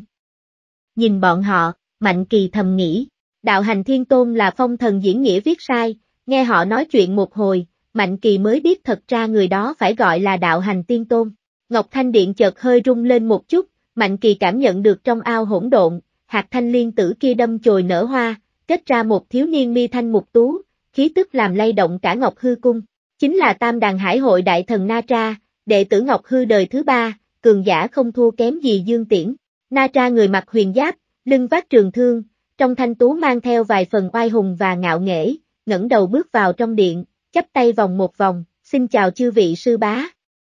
Sư thúc, lúc nói tới hai chữ sư thúc, y hơi dừng lại, thần sắc quản thành tử thoáng ảm đạm, sư phụ ngươi đâu, mắt na tra đỏ lên, sư phụ, sư phụ bị thương trong yêu loạn đại địa, không thoát được thời gian cọ rửa, tọa hóa ở trong động phủ, mắt y hiện ra hận ý, nhưng không nói vì sao thái ất chân nhân lại bị thương, vẻ muốn chính mình được tự tay giết kẻ thù, xem ra thái ất chân nhân di phủ là thật. Không biết cửu long thần hỏa tráo đã rơi vào trong tay ai, nếu bị na tra này gặp phải, nhất định là sống không xong. Mạnh Kỳ Lan mang nghĩ, kiếp số như thế, đám người xích tinh tử đều thở dài. Quảng thành tử nhìn ra ngoài điện, ảm đạm không giảm nói, Nam cực sư huynh chết trong trận chiến thiên đình rơi xuống, câu lưu tôn sư đệ vẫn lạc tại Linh Sơn, đến nay không còn thi cốt, e là họ không tới được, Hoàng Long sư đệ bị ảnh hưởng của hỗn nguyên kim đấu và cửu khúc hoàng hà trận, tuy vượt qua được sát kiếp, quay về đỉnh phong, nhưng không thể tiến lên thêm được nữa, sau thượng cổ vì hết tuổi thọ mà tọa hóa, Ngọc Đỉnh chân nhân thản nhiên nói, giọng bình thản vô cùng. Không biết ba vị sư đệ phổ hiền, văn thù và từ hàng có thoát được linh sơn chi kiếp hay không? Đạo hành tiên tôn chẳng hề cười. Mạnh kỳ xen vào, ta ở linh sơn có nhìn thấy văn thù Bồ Tát và tọa kỵ của người, đều đã trở thành di thể, sau đó bị vô thượng chân Phật thôn phệ, trừ quản thành tử mơ hồ biết chuyện vô thượng chân Phật, những người còn lại đều đã rời khỏi trần tục quá lâu, Linh Sơn lại ngăn cách thiên cơ, nên đều lắng nghe vô cùng chăm chú, vẻ đâm chiêu. Văn thù sư đệ là xuất thân Phật môn, sau xá đi cổ Phật quả vị, tu luyện lại từ ban đầu, trở thành Đại Bồ Tát, sau đó bái nhập Ngọc Hư, chém ra đạo môn thiên tôn chi thân, hôm nay thân thể đại trí Bồ Tát tuy viên tịch, nhưng chưa hẳn đã thật sự vẫn lạc. Xích tinh tử gật gật đầu, Mạnh Kỳ hỏi theo, từ hàng sư huynh và phổ hiền sư huynh cũng như vậy sao, hắn hỏi chỉ vì tò mò thôi, không, hai người này thì có chút khác, Họ cũng đều là xá đi cổ Phật quả vị, nhưng trước khi đó họ đều đã gia nhập Ngọc Hư, tu thành đạo thể, sau khi có điều hiểu ra, thì quay về Phật môn tu luyện, chém ra Đại Bồ Tát chi thân, đăng lâm tạo hóa. Xích tinh tử đáp, nhắc tới từ hàng và phổ hiền, Mạnh Kỳ liền kể chuyện bất tử yêu thần, cuối cùng hỏi, các vị sư huynh thấy bất tử yêu thần sẽ là người nào, cả hai đều có thể. Mấy người quản thành tử nhìn nhau, cùng lắc đầu, họ đang định bàn luận chuyện vô thượng chân Phật thì một đạo động quang bay vào Ngọc Thanh Điện, thanh thanh mông mông, như đến từ đáy lòng. Động quang hạ xuống, hóa thành một nữ tử tóc búi, mặt đạo bào, đôi mắt linh hoạt, ánh mắt đầy trí tuệ, văn thù sư đệ. Quảng thành tử cười, sao lại hóa thành nữ tử, văn thù quảng pháp thiên tôn, một trong đạo môn cửu tôn, văn thù Bồ Tát quả nhiên không hề chết, văn thù quảng pháp thiên tôn mỉm cười, sau khi Bồ Tát kim thân vẫn lạc, liền có phen biến hóa này, mạnh kỳ cười, văn thù sư huynh, ta gặp được di thể của huynh ở Linh Sơn, tiếc là chưa kịp mang ra, đã bị vô thượng chân Phật thôn phệ, văn thù quảng pháp thiên tôn ngẩn người, rồi vỗ tay cười, nuốt rất tốt, nuốt rất tốt, quá khứ ràng buộc, các loại nhân quả, từ đây coi như đứt sạch, cả người thoải mái hẳn ra. Mạnh Kỳ đang định hỏi thăm chuyện Linh Sơn, lại thấy một đạo hắc quang chui vào trong điện, xông về phía mình, tay bắt phiên thiên ấn, Mạnh Kỳ vừa muốn chụp cho nó một chưởng, thì cảm nhận được thiện ý, lập tức thu về, một cái lưỡi hồng hồng thò ra, liếm lòng bàn tay Mạnh Kỳ, động quang hóa thành một con chó nhỏ lông đen nhánh, hao thiên khuyển. Mạnh Kỳ ngạc nhiên, con chó nhỏ kia nịnh nọc lắc lắc đuôi, sau đó đi sang bên, ngồi xuống một cái bồ đoàn, ngồi đúng kiểu tiêu chuẩn của chó, hai chân sau gập, hai chân trước chống thẳng, rất là nghiêm chỉnh. Nó ẳng ẳng, nhiệt tình nói, các vị sư bá sư thúc, ta thay nhị lan nhà ta tới, lại đợi một lát, không còn quan mang nhập điện, thanh hư đạo đức chân quân, phổ hiền đạo nhân, từ hàng đạo nhân đều không xuất hiện, trầm mặt hồi lâu, quản thành tử không nhịn được thở dài, thân hữu tâm diệt lão, tri giao bán điêu linh, năm đó Ngọc Hư bao nhiêu tiên, hôm nay trong điện chỉ còn lại thưa thớt, lại im lặng một hồi lâu, xích tinh tử mới nói, Quảng Thành Sư Huynh, ngươi gõ chung triệu tập chúng ta tới có chuyện gì, họ đều là phân ra một tia sức mạnh, dùng thần binh pháp bảo để hàng lâm đến đây, Quảng Thành tử nhìn quanh một vòng, cảm khái nói, tính cả Vân Trung Tử và Linh Bảo Sư Đệ, những đệ tử đời thứ ba đã sớm tọa hóa hay vẫn lạc trong trận chiến thiên đình, hoặc chết vì hết tuổi thọ, tính tới hôm nay, Ngọc Hư nhất mạch chúng ta chỉ còn lại mấy người chúng ta này, thời gian quả thực vô tình, tuế nguyệt khó tránh khỏi hờ hững, vì có mạnh kỳ, y khá là vất vả tiền từ. Về phần tề tiểu bạch của Khương Tử Nha nhất mạch, đạo thống Ngọc Hư còn sót lại ở thế giới phong thần, thì chỉ có thể coi như căn cơ, không thể thuộc cao tầng. Quảng Thành Tử, Xích Tinh Tử, Ngọc Đỉnh Chân Nhân, Đạo Hành Tiên Tôn, Văn Thù Quảng Pháp Thiên Tôn, Na Tra, Dương Tiễn và ta. Mạnh Kỳ gật đầu, đã có hiểu thêm chút về Ngọc Hư nhất mạch, Quảng Thành Tử quay qua nhìn Mạnh Kỳ, mỉm cười, Tô Sư Đệ được lão sư truyền thừa tuy lâu, nhưng hôm nay mới vừa quản kết đồng môn, có một điểm cần phải nhớ kỹ, hắc, Ngọc Hư cung chúng ta hướng đến chỉ giúp người thân mà không quan tâm đúng sai, giọng y chuyển sang đầy tự trào, chọc người chết không đền mạng, không ngờ Quảng Thành Thiên Tôn lại là người khoái nói đùa. Mạnh Kỳ ngẩng đầu nhìn cây cột của Ngọc Thanh Điện, Quảng Thành tử thay đổi không khí, giơ tay lên, ngón cái và ngón út chạm nhau, chìa ra ba ngón còn lại, lần này triệu tập các vị đồng môn tới là có ba chuyện, vừa dứt lời, y với văn thù quản pháp thiên tôn đều nhìn ra ngoài điện, như cảm nhận được có cái gì đó, xích tinh tử, ngọc đỉnh chân nhân, đạo hành tiên tôn và na tra hơi chậm hơn nửa nhịp, mạnh kỳ và hao thiên quyển là hai kẻ cảm ứng được sau cùng. Một làn độn quang đạm kim như lưu ly đang tới gần, nhìn hao thiên quyển lớp lông trơn láng, khóe miệng mạnh kỳ run rẩy, từ cảm nhận vừa rồi cho thấy, mẹ nó, mình tu luyện nhiều năm như vậy, mà còn không bằng một con chó. Phải biết, bác cửu huyền công nổi danh về linh giác, nổi danh là gió thu chưa động ve đã cảm thấy rồi. Ít nhất nếu chỉ nói về mặt cảnh giới, hao thiên quyển hẳn đã là truyền thuyết đỉnh phong, mình còn không bằng một con chó, một con chó. Đạo động quan kia bay vào Ngọc Thanh Điện, dừng lại, hóa thành một bóng người cao gầy mà đầy sức mạnh, mặt huyền bào, lông mi đen dài, rủ xuống hai bên má, nhất là có một đôi kim ngân quỷ đồng cực kỳ ấn tượng, kim ngân quỷ đồng.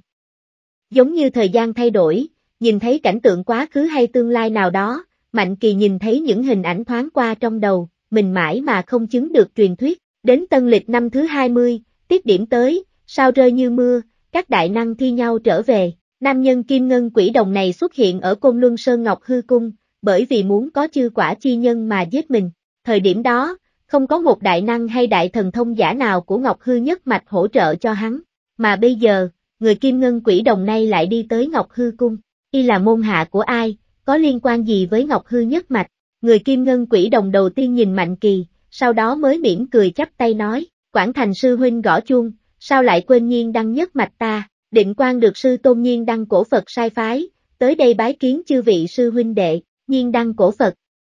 Người kim ngân quỷ đồng này thì ra là môn hạ nhiên đăng, hèn gì mơ ước, chư quả chi nhân. Mạnh kỳ bừng tỉnh đại ngộ, nét mặt không chút thay đổi, trong một tương lai kia, mình mãi mà chưa chứng truyền thuyết, cũng không được môn hạ Ngọc Hư tán thành, bị nhiên đăng dày vò, đại nhân vật bỉ ngạn trao đổi ích lợi, hắn trở thành kẻ bị chết thay, không phải mấy người quản thành tử làm gì sai, chỉ là hắn với họ chẳng có giao tình gì cả, nhưng hôm nay hắn đã chứng được truyền thuyết.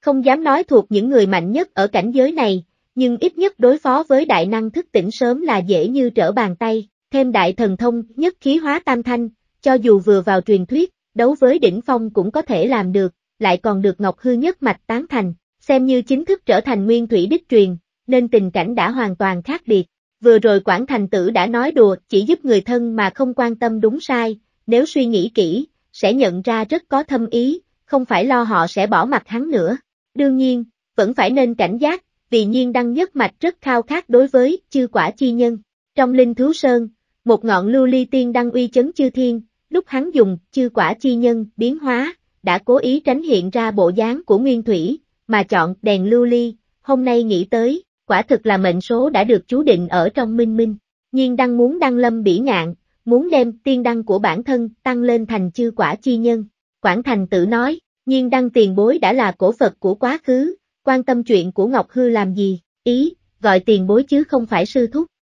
Xem ra hồi trước hai bên đã căng thẳng với nhau, không giữ quan hệ tốt như văn thù, phổ hiền và từ hàng. Định quan ngoài quỷ đồng, ánh mắt đạm mạc, thì mặt mày rất bình thường, nhưng mang lại cảm nhận rất mạnh mẽ, tinh thần phấn chấn. Gã khẽ cười, dù gì cũng từng là đồng môn kia mà, nhân quả khó dứt, đệ sẽ chỉ ngồi im nghe thôi, không nói gì đâu. Nói xong, gã ngồi đại xuống một cái bồ đoàn, lẳng lặng nhìn Quảng Thành Tử, nhưng Mạnh Kỳ lại cứ có cảm nhận là gã luôn nhìn mình. Na tra bộ dáng thiếu niên, môi hồng răng trắng như con gái, nhưng oai hùng hiên ngang, ánh mắt sắc bén, đứng dậy, nhìn định quan hừ một tiếng, tiểu gia ghét nhất là có những kẻ không liên quan tới ngồi nghe, ngươi muốn tự đi ra, hay muốn ta rút gân lột da ném ra, khí tức y dân cao, thương nắm chặt trong tay. Cái thằng nhóc này mà hỗn lên, thật đúng là không cho ai mặt mũi.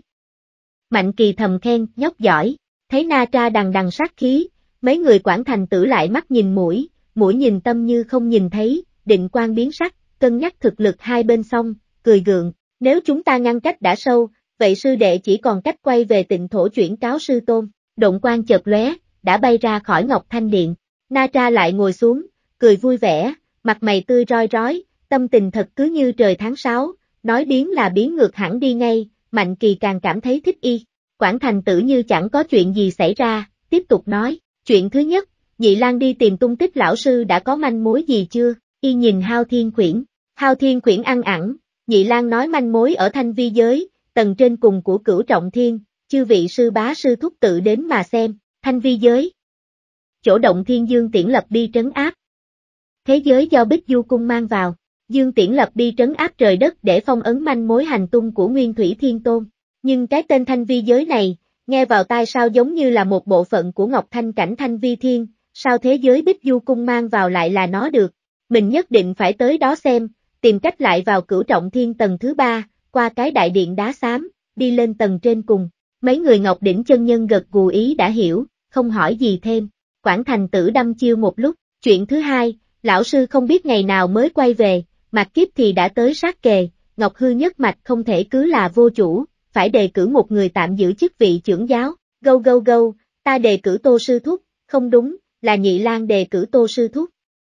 Hao Thiên Quyển vội vã lên tiếng trước tiên, thái độ rất định nọt làm Mạnh Kỳ nghi ngờ. Vô sự hiến ân cần, con chó chết tiệt này rốt cuộc muốn cái gì thế hả? Xích tinh tử nhìn Mạnh Kỳ cười đầy thâm ý, tô sư đệ tự chứng truyền thuyết, chư quả chi nhân, đại thành. Tạm làm trưởng giáo theo lý cũng là chuyện đương nhiên, bần đạo cũng có ý này. Ngọc Đỉnh chân nhân lạnh nhạt, đạo hành tiên tôn cũng gật đầu, chư quả chi nhân, nếu không phải là Ngọc Hư trưởng giáo mới là chê cười. Văn thù quản pháp thiên tôn đảo mắt một vòng, lại cười, đúng, đúng, ta không ý kiến. Na tra hứng thú khẽ hất tay, thế thì quyết định như vậy. Quảng thành tử gõ tay, ơ đệt. Mạnh Kỳ còn chưa kịp nói lời nào, chuyện đã quyết định xong luôn rồi. Ngươi một lời ta một câu đồng tình với nhau, nhanh tới mức khiến hắn phải nghi ngờ là có cái gì đó. Ta không phải khiêm tốn nhưng, hắn theo bản năng lên tiếng. Nhưng lời còn chưa dứt, đã bị quản thành tử ngắt ngang, tô sư đệ, mọi người đều đã quyết định, bản thân ngươi cũng là chân thật giới Côn Luân Sơn Ngọc Hư Cung trưởng giáo, chính là danh chính ngôn thuận. Hơn nữa lần này chuyện nhân hoàng, còn phải cần người tạm thay trưởng giáo đưa ra quyết định, ớ. Nửa câu sau khiến Mạnh Kỳ không còn đường từ chối.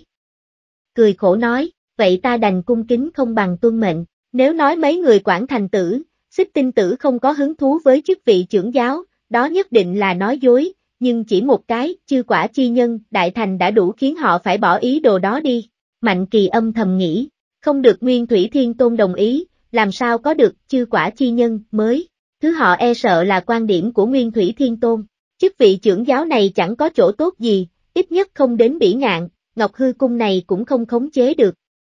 Quảng Thành Tử cười tủm tỉm đứng lên, chắp tay, kính chào tô trưởng giáo, mấy người Ngọc Đỉnh chân nhân cũng đứng dậy, thi lễ, kính chào tô trưởng giáo, được tạo hóa và truyền thuyết đỉnh phong đại năng thi lễ với mình, cảm nhận này thực là vi diệu, Mạnh Kỳ hưởng thụ một lúc mới nói, Quảng Thành sư huynh, chuyện thứ ba là, nói xong, hắn mới kịp phản ứng, mẹ nó, đã mang chức vị trưởng giáo, cơ mà ngay cả một món bảo vật cũng không có, Quảng Thành tử mỉm cười, Mạc Kiếp đang rất nóng bỏng, yêu tộc Phật quốc phạt Đại Chu, Ngọc Hư cung ta có nên hỗ trợ nhân hoàng hay không, chiếm được khu vực trung tâm chân thật giới chính là Đức Vận, sau này sẽ có được trợ giúp khi trùng kiến thiên đình, hoàn thiện địa phủ, đoạt lấy tiên cơ, Mạnh Kỳ dành nói, Ngọc Hư nhất mạch chúng ta hướng đến thân thiện nhân tộc, Quảng Thành Sư Huynh chính là sư phụ nhân hoàng hai đời, giúp đỡ nhân hoàng, theo lý là chuyện đương nhiên, xích tinh tử và đạo hành tiên tôn nhìn nhau, cười, tiết điểm đã tới, bố cục chư phương cũng đã có, chúng ta cũng không thể lạc hậu,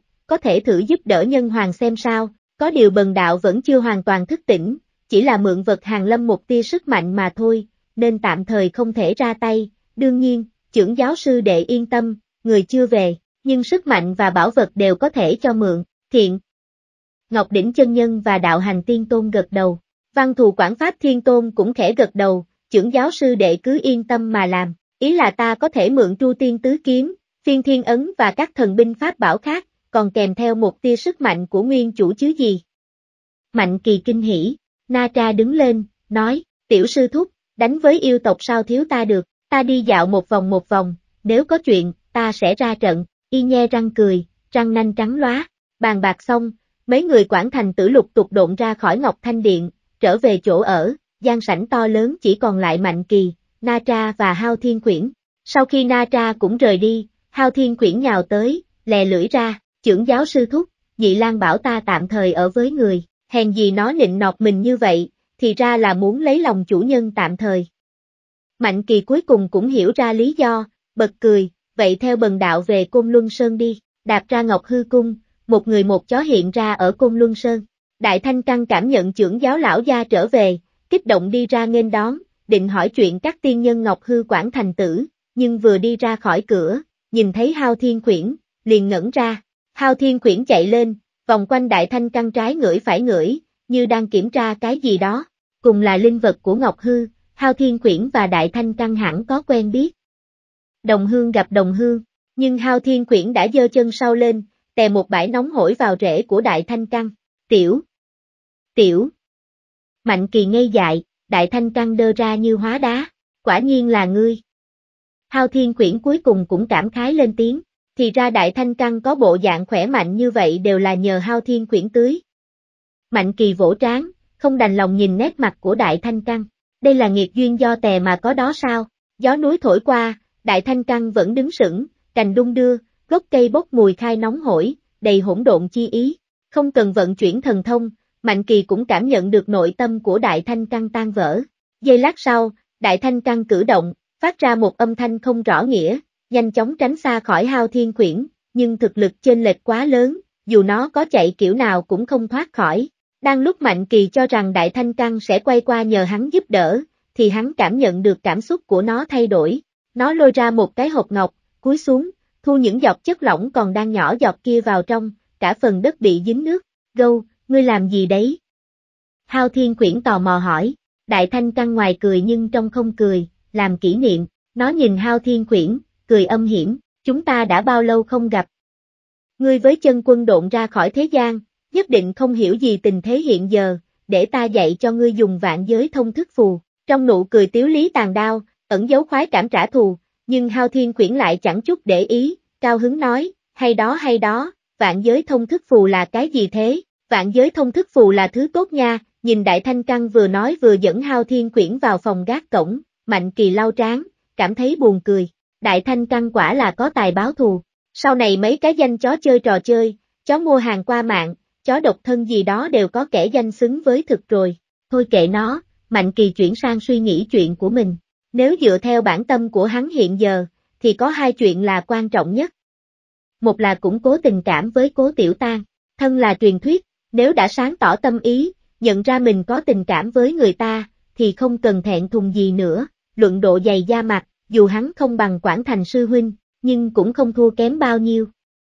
Cái gì nên trực tiếp thì phải trực tiếp, cái gì nên chủ động thì phải chủ động. Hai là trở về thanh vi giới, mở ra phong ấn của Dương Tiễn để tìm manh mối hành tung nguyên thủy, sau đó lên tầng trên cùng của cửu trọng thiên để tìm thêm, nếu không trong lòng sẽ vẫn thấy không yên. Nhưng chuyện cấp bách nhất hiện giờ là trận chiến phong thiên đài, sau khi Di Lặc và bằng ma vương quay về, hẳn sẽ không cho thời gian, sẽ lập tức triệu tập tất cả cường giả trong tay, công phạt Đại Chu, chiếm lấy một châu quận nào đó của Đại Chu trừ trường nhạc. Mặc dù có thế giới vạn giới thông thức, dù yêu tộc và Phật quốc tấn công châu nào, chỉ cần không che chắn nhân quả, là mọi người đều sẽ biết ngay, nhào tới cứu viện, nhưng nếu kéo tới cứu viện, đại năng của đối phương cũng có thể bày bẫy, bao vây, trừ phi lúc cứu viện phải che mắt thiên cơ, ngăn cách động tĩnh. Nói cách khác, khi số lượng truyền thuyết của mình thua xa số lượng truyền thuyết của yêu tộc và Phật quốc, nếu Thiếu Huyền và Hy Nga rời khỏi trường nhạc, thì chẳng khác nào chui đầu vô lưới. Dù có thêm hắn,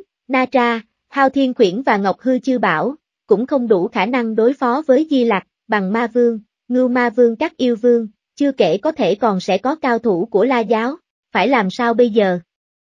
Mạnh Kỳ ngồi trên giường, suy nghĩ, thần thức chìm vào trong cơ thể, lướt qua huyết đào yêu dị đang ngủ say, lướt tới chỗ khiếu huyệt trên cánh tay trái. Cố tiểu tan quanh người sen trắng phất phới, tiên thiên chi đức năm màu đang sen tạo thành một màu sắc lạ, khiến bộ dáng của cô càng thêm không linh thần thánh. Cảm ứng được mạnh kỳ tiến vào, cố tiểu tan từ tu luyện tỉnh dậy, mở mắt mỉm cười, phu quân rốt cuộc không kềm chế nổi nữa, đến đánh lén hả, mạnh kỳ cười gượng, tự nghĩ sao cô ấy biết, nhưng thua người không thể thua trận, ngoài miệng đáp, thần thức giao hợp làm sao bằng được linh nhục hợp nhất, ta còn chờ nàng có gan rời khỏi chỗ này rồi nói sao, không đợi cố tiểu tan nói thêm, hắn nhanh chóng kể lại chuyện ở Ngọc Hư Cung, sau đó nói, nếu luận tu luyện, luận nhanh trí, luận chiến đấu, luận ý chí, ta tự nghĩ không kém người khác, nhưng mưu tính sâu xa, hiểu về thế cục, thì ta không bằng nàng, cho nên, hắn không cần nói hết câu, ý đã rất rõ, hắn muốn thỉnh giáo cô cách đối phó với thế cục. Cố Tiểu Tan vừa có kiến thức và kinh nghiệm của Kim Hoàng, bản thân vừa giỏi mưu đồ, bố cục, không thua kém gì Vương Đại Thần Côn, không nhờ cô, mắc cớ gì mình phải nghĩ suy khổ sở, ngu à, hơn nữa con gái mà, ai chẳng thích được khen, mượn cơ hội này khen cô mấy câu, nhỉ, cô có giúp hắn hay không ư? Chuyện này không cần nghĩ. Cô vốn đã có chí hướng cao xa, muốn chiến thắng cường địch, rời khỏi cánh tay của hắn, làm sao lại bỏ qua cơ hội ảnh hưởng tới thế cục, tìm kiếm hữu ích cho bản thân. Đối với yêu nữ như cô, chắc chắn đã nghĩ tới chuyện này rồi. Cho nên, những mưu đồ của cô, Mạnh Kỳ đã định sẽ mở một con mắt nhắm một con mắt, chỉ cần không uy hiếp đến thân bằng hảo hữu, coi như không biết là được. Cố tiểu tan nghiêng đầu, như cười như không nhìn Mạnh Kỳ, một hồi lâu mới nói, phu quân càng ngày càng dám nói ra nha, thiếp thân rất là hoan hỉ, mắt cô cong lên vui vẻ, vẻ vừa vui vừa thẹn, Mạnh Kỳ thưởng thức cảnh đẹp. Cố Tiểu Tan đưa tay chống cầm, chớp mắt, thế cục trước mắt nhìn như tràn ngập nguy cơ, nhưng thực ra vẫn có cơ hội xoay chuyển. Thứ nhất, Cao Lãm là người có đầu óc, suy nghĩ cẩn thận, đã dám thả ra phong thiên đài, trở thành cái đích cho mọi người nhắm đến, vậy thì không hẳn thật ý đã ở tại phong thiên đài, có lẽ sẽ ám độ trần thương, cô đã từng trúng đòn của Cao Lãm, nên trong lòng tự nhiên coi trọng y vài phần. Mạnh kỳ gật gù đồng tình, đại ca ngốc luôn ra bài không theo lẽ thường, có mưu đồ khác cũng là chuyện không phải ngoài ý muốn. Cố tiểu tan xoắn xoắn sợi tóc trong tay, đôi mắt lấp lánh, đầy vẻ trí tuệ khi cô suy nghĩ. Thứ hai, song quyền khó địch bốn tay, trận doanh cao lãm bất quá chỉ có hai truyền thuyết đại năng và nhân hoàng kiếm, tận thế chi thuyền, cho dù thêm chàng, Na Tra, Hao Thiên Khuyển và Ngọc Hư Chư Tiên cho mượn bảo vật, muốn ngạnh kháng các đại thánh yêu tộc và Bồ Tát của tịnh thổ chư Phật dưới đất, thần sứ của La Giáo, đó là một hy vọng rất xa vời. Đây vẫn còn là may tề thiên đại thánh chỉ khoanh tay đứng nhìn thôi đó. Cho nên, đừng giữ đồ tốt một mình, mà phải tung hoành liên hợp, ví dụ như với Linh Bảo Nhất Mạch, ví dụ như những phe phái không muốn nhìn thấy Di Lặc thành lập Phật quốc dưới đất, trở thành Phật tổ Phật môn tương lai, hay là thanh đế, thành lập một mặt trận thống nhất hở. Mạnh kỳ tìm chết nghĩ, cố tiểu tang tiếp tục nói, thứ ba, yêu tộc, Phật quốc dưới đất và La giáo chỉ là đồng minh tạm thời, không ai muốn thấy đối phương lấy được quyền khống chế phong thiên đài, chia rẽ chúng về mặt này nhất định có hiệu quả, ta cũng biết chuyện đó, chỉ là hôm nay thế cục gấp gáp, dù có dở trò chia rẽ, hay là đi tìm minh hữu, thì cũng sợ là không kịp, nếu không có đối sách thích hợp, trong vòng vài ngày, hẳn là họ đã chiếm được các châu phủ xung quanh trường nhạc. Mạnh kỳ trầm ngâm, cố tiểu tăng miếng môi cười, đẹp như muôn hoa đua nở, vừa có tru tiên tứ kiếm, phu quân lại đã đăng lâm truyền thuyết, cho dù kiếm kinh vẫn chưa hoàn chỉnh, thì bố trí ra một cái kiếm trận bao quát tất cả lãnh thổ đại chu, cấm đặc thù không chỗ không ở đâu phải là việc gì khó. Chàng mới vào truyền thuyết, vẫn còn chưa quen lắm cái cảnh giới này, lãnh thổ đại chu tuy rộng lớn, nhưng trong mắt của truyền thuyết, chỉ là một chút xíu mà thôi, một cái tru tiên kiếm trận bao phủ cả lãnh thổ đại chu. Mạnh kỳ chớp mắt, như nhìn thấy bốn làng kiếm quang từ trên trời giáng xuống, cắm ở bốn hướng, bao phủ toàn bộ chân thật giới, khắp nơi đều có kiếm khí tung hoành. Siêu phẩm A, đến truyền thuyết, quả nhiên mọi thứ đã hoàn toàn đổi khác, bóng tối đã không còn, mặt trăng lại hiện ra, chiếu ánh sáng xuống dưới, phong thiên đài phủ lên một tầng ánh sáng bàn bạc, cẩm tú sơn hà đồ dần dần mông lung biến mất, như nối vào một thể với tế đài, và khu vực hạch tâm của lãnh thổ Đại Chu, quốc đô trường nhạc. Cao lãm thả lỏng nhân hoàng kiếm, đạm kim di động, chiếu sáng ấn tỷ, thân hình ngang tàn đứng thẳng, mới vừa rồi khi bị hai thượng cổ đại thần thông giả di lạc Phật tổ và bằng ma vương áp bách, y không hề run rẩy chút nào, dùng thân mình gánh cả nhân tộc, chân đạp cửu u, đầu đội tiên giới, thiếu huyền, khi Nga nhìn thấy thế, trong lòng cũng bình tĩnh hẳn, giống như cao lãm mới là truyền thuyết đại năng chứ không phải họ, khi Nga nhíu mày, bệ hạ, khói lửa sắp nổi dậy khắp nơi rồi, những đại thánh của yêu tộc đã cường thế trở về,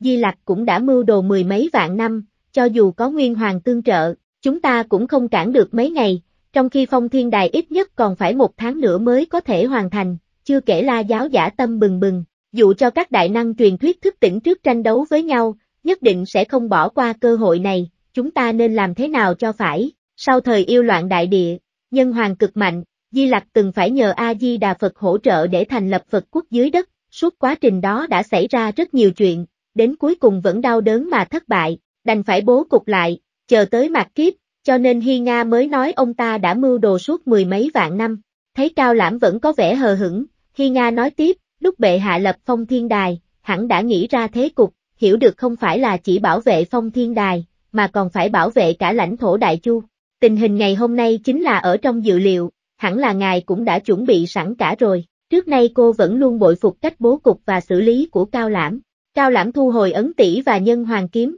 đi mấy bước, đang định mở miệng thì bên ngoài phong thiên đài chuỗi ngọc tung bay, sen vàng rực rỡ, hiện ra một bóng người mặc bào đen, đạo quan cổ xưa, ngũ quan tuấn Mỹ, chính là Mạnh Kỳ lấy khả năng không chỗ không ở trực tiếp hàng lâm. Thấy tân đại năng này đến, Thiếu Huyền và Hy Nga tự nhiên cảm thấy có áp lực, giống như đối phương đã hoàn toàn vượt xa khỏi đặc thù của truyền thuyết. Mạnh Kỳ bước vào phạm vi phong thiên đài, ha ha cười, sự có khác thường tất là yêu, trước khi Hoàng Huynh tu kiến phong thiên đài, chưa từng quản kết minh hữu, trao đổi ích lợi, chỉ dùng một mình thế lực đơn bạc của mình để chờ yêu tộc, Phật quốc và La giáo tới đây, cho dù có cẩm tú sơn hà đồ thì cũng là bị động, làm chuyện rất không khôn ngoan như thế, trong đó nhất định có nguyên do, cao lãm đứng vững, hai tay đặt ở sau lưng, đôi mắt sâu thăm thẳm, tam đệ, thế sự như bàn cờ, đi được tới cấp độ này của chúng ta, cho dù trước kia không phải, thì hôm nay nhất định đã rơi vào mắt của đại nhân vật người ta rồi, trẫm tạm thời không tiện lộ ra quá nhiều,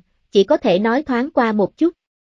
Lúc trước khi bị phong ấn trấn áp ở trường nhạc, đồ trên người trẫm đều đã bị lấy đi hết. Những vật có liên quan đến đột phá thánh hoàng ma lệnh và vật che giấu thiên phạt đã quay lại tay ta như thế nào. Cho tới nay, Mạnh Kỳ vẫn luôn không hiểu được vì sao Cao Lãm bí mật chứng được pháp thân. Nếu y bị phong ấn trấn áp, ai lại để thánh hoàng ma lệnh và vật che giấu thiên phạt cho y bao giờ? Chẳng lẽ y giấu kỹ lắm, nên không bị tìm thấy? Hay là dùng vương bá khí cảm hóa người ta, nhờ ai đó lấy lại cho? Cả hai khả năng này đều rất mong manh. Lúc xưa khi Cao Lãm giết trường nhạc máu chảy thành sông, cường giả các môn phái đều tham gia, mặc dù lúc đó trước lấy trấn áp làm trọng, không kịp soát người, thì sau đó khi xung hòa đạo nhân và lục đại tiên sinh trở về, với thần thức của pháp thân, còn có thể để cho y giấu được đồ vật qua mắt mình hay sao? Còn chuyện canh giữ hắn, không phải người các môn phái, thì cũng là kẻ có huyết hải thâm cừu với y, không có khả năng bị một kẻ khùng như y cảm hóa. Bây giờ Cao Lãm đã khẳng định chuyện này, quả thế. Thiếu Huyền và Hy Nga thở ra, Cao Lãm nhìn Mạnh Kỳ, cười rất nhẹ, tam đệ, nghe lời ngươi vừa rồi, là muốn đề nghị quản kết minh hữu để đối kháng yêu tộc, Phật quốc và La giáo, không sai. Mạnh Kỳ mỉm cười gật đầu, đại ca ngốc thông minh lắm nha, mình chỉ mới chỉ ra chỗ khác thường, y đã nghe huyền ca biết nhã ý. Những năm cuối thượng cổ, lúc nhân hoàng đối kháng yêu tộc, Phật quốc và La giáo, lấy ý chí dung nạp thương sinh mà được khá nhiều minh hữu hỗ trợ, có cả tiên nhân Ngọc Hư, Bích Du đạo môn các mạch, cả một ít phe phái của Phật môn, một số thần linh đại năng còn sót lại sau khi thiên đình rơi xuống, hiện giờ cũng còn khá nhiều người sống sót tới nay. Cao Lãm bình thản nói, Quảng Thành Sư Huynh là sư phụ của Nhân Hoàng, cửu thiên huyền nữ từng hỗ trợ Nhân Hoàng. Mạnh Kỳ gật đầu, biết đại ca ngốc nói không sai, một khi đã như vậy, Hoàng Huynh vì sao không liên lạc với các minh hữu trước, mà lại đi tu kiến phong thiên đài, Cao Lãm ngửa đầu cười, vẻ điên cuồng, nếu thông báo cho bọn họ trước, để họ có chuẩn bị sẵn, chuyện xây dựng phong thiên đài tất nhiên sẽ bị lùi lại, bởi vì các phương thế lực đều còn đang trong quá trình trở về, không ai muốn tình hình trở nên kịch liệt. Hôm nay, phong thiên đài đã gần đến lúc kết thúc, thế cục trở nên tràn ngập nguy cơ, yêu tộc, Phật quốc và La giáo kết minh với nhau tạo thế ván đã đóng thuyền, bọn họ dù muốn chiếm lấy tiên cơ, thì cũng không thể để cho tam đại thế lực đồng minh một nhà độc đại, nên cũng chỉ còn cách bịt mũi mà nhận, bây giờ chỉ cần hạ mình một chút, thái độ hòa hảo một chút, tới tìm họ, mọi chuyện sẽ dễ dàng đi rất nhiều. Hợp tác tiền đề là ích lợi, chứ không phải là nghe lời người ta, chịu an phận. Nói tới đây,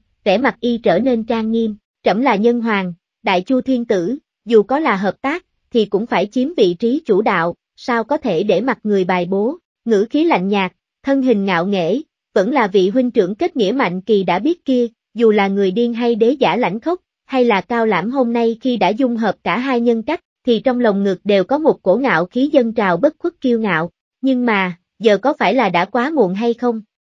Thiếu huyền không hề che giấu sự lo lắng của mình, cao lãm nhìn Mạnh Kỳ, ánh mắt bình tĩnh, tam đệ thần sắc như thường, tất có dạy ta, Mạnh Kỳ hắt một tiếng, Hoàng huynh tuệ nhãn như đuốc, nói xong, hắn không cười nữa, nghiêm mặt nói, phải mượn tế đài dùng một chút, cầu nguyện nguyên thủy thiên tôn, vận chuyển chư quả chi nhân, lấy thân phận trưởng giáo đi mượn tru tiên tứ kiếm, Cao lãm nhẹ nhàng gật đầu, nghiêng người tránh ra, Thiếu Huyền và Hy Nga đồng thanh nói, Tô trưởng giáo, mời, Mạnh Kỳ chỉnh trang y quan, bước lên bậc thang, không khí chung quanh trở nên nghiêm túc thần thánh. Hắn bước lên phong thiên đài, hướng về Ngọc Hư Cung ở chỗ cao vô cùng bái bái, sau đó lại lễ kính ngũ phương ngũ đế, Mạnh Kỳ đứng ở chính giữa, trong mắt hiện ra đạo nhất lưu ly đăng, ánh đèn chiếu ra, hóa thành hư ảo phù chiếu, chiếu sáng những sợi dây lấp lánh, phù chiếu lưu quang, Mạnh kỳ tay chỉ, cao giọng quát, lấy danh nghĩa trưởng giáo Ngọc Hư, thỉnh cửu tiên sơn quản thành sư huynh cho mượn Chu tiên chi kiếm, vừa dứt lời,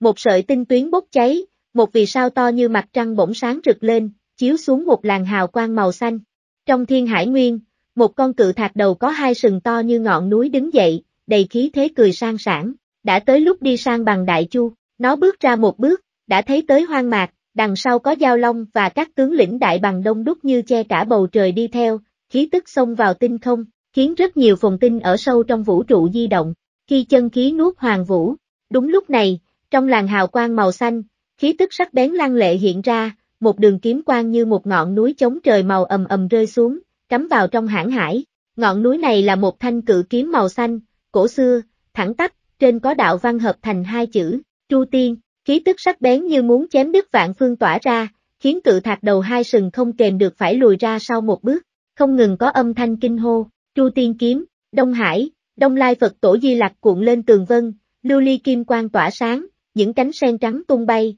tại Pháp Hoa Lâm, đại diệu tướng đứng hầu hai bên, Bồ Tát La Hán tầng tầng vây quanh bên dưới, dùng tư thế cực kỳ cao điệu hàng lâm, đem hành cứu thế, Nam Mô A Di Đà Phật. Di Lặc khẽ niệm, đang định độ hóa Giang Đông, để tín đồ của Phật quốc dưới đất đang mai phục các nơi cùng khởi sự, thì cảm nhận được kiếm khí sắc bén lan tới người, một làn quang mang màu đỏ xé rách hư không mà đến, thẳng tắp cắm vào Đông Hải, quang mang sông đến tận trời. Đây là một thanh kiếm đỏ rực như máu, cổ xưa mà khủng bố, trên thân có đạo văn hợp lại thành hai chữ, hãm tiên, pháp giá di lạc dừng lại, trong cảm ứng không chỗ không ở, nơi giao giữa Nam Hoang và Đại Chu, có một làn kiếm quang màu trắng từ một vì sao trên cao hàng lâm, hóa thành một thanh lục tiên chi kiếm, trên cực bắc băng nguyên, một thanh kiếm màu đen thẳng tắp, xuyên qua thương khung và đại địa, thân kiếm u ám, tên là Tuyệt Tiên, ầm, tứ kiếm vừa lập, đông nam tây bắc, kiếm khí giao nhau, hóa thành một tầng cương phong, bao phủ trường nhạc, thần đô, giang đông, 27 châu đại chu và tất cả sinh linh vào trong đó, kiếm ý bốc thẳng tới tận chư thiên, rơi rắc vạn giới, chu tiên tứ kiếm, nụ cười trên mặt di lạc cứng lại, thế giới phong thần, trong một động phủ bỏ hoang, Na Tra lẳng lặng ngồi, hốc mắt ửng đỏ, lúc này, kiếm ý truyền đến, y ngẩng đầu nhìn lên, tay cầm lấy cán thương, thấp giọng lẩm bẩm nói, bắt đầu rồi sao, sâu trong Đông Hải, kim ngao đảo đột ngột hiện lên, một con bạch viên khổng lồ đứng dậy, tru tiên tứ kiếm.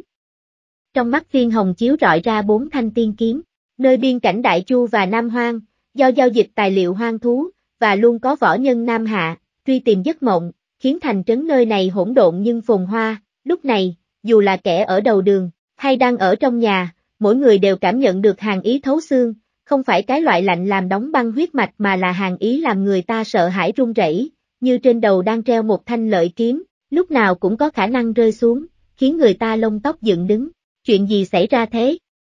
Chẳng lẽ có ngoại cảnh cường giả đang chiến đấu gần đây, hay là có hoang thú mạnh mẽ chạy qua? Lưu cổ đang xem, Thùy Dực tử tóc sâu, đứng dậy, đi tới cửa sổ, nhìn ra ngoài. Đó là cái gì? Chỉ nhìn thoáng qua, Lưu cố liền kinh hải bật thốt. Cách đó không xa, bên ngoài thành, không biết từ lúc nào xuất hiện một ngọn núi cao ngất tỏa quang mang chói mắt, chọc thẳng vào tầng mây, nhìn không thấy đỉnh, không.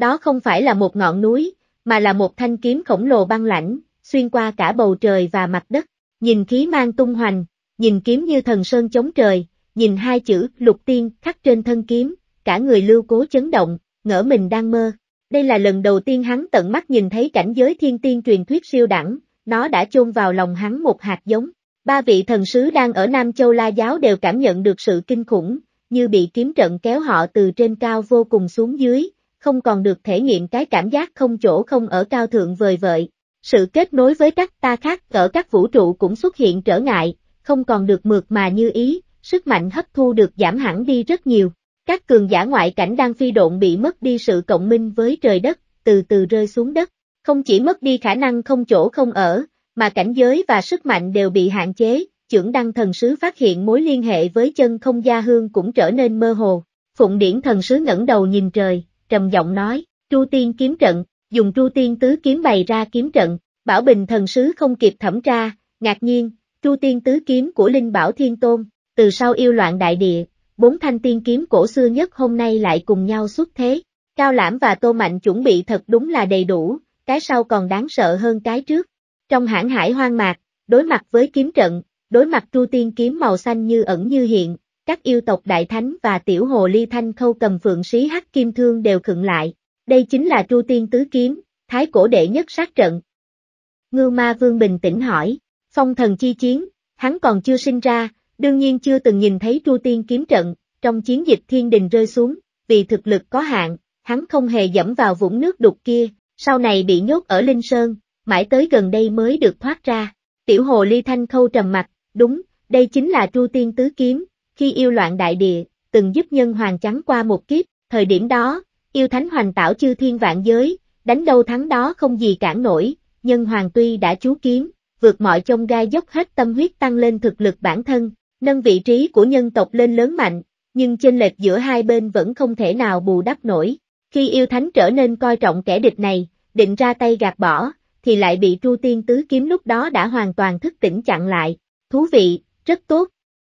Ngưu Ma Vương oan oan, nhìn bằng Ma Vương Giao Ma Vương và các đại thánh, huy quan lạc và đám yêu thần mạnh nhất, nhe răng nói, theo lão ngưu ta thấy, Chu tiên tứ kiếm bất quá mới chỉ thức tỉnh tới cấp độ truyền thuyết mà thôi, hơn nữa tứ phương kiếm khí có phân chia mạnh yếu, thiếu đi sự mượt mà như ý, rõ ràng là người bày trận bị thiếu kiếm kinh của hai kiếm tương ứng, nên dù có trận đồ cũng không hoàn thiện được, không luyện chế được tới cảnh giới truyền thuyết, cho nên, kiếm trận bị hạn chế làm sao tạo thành nguy hiểm thực chất cho chúng ta được.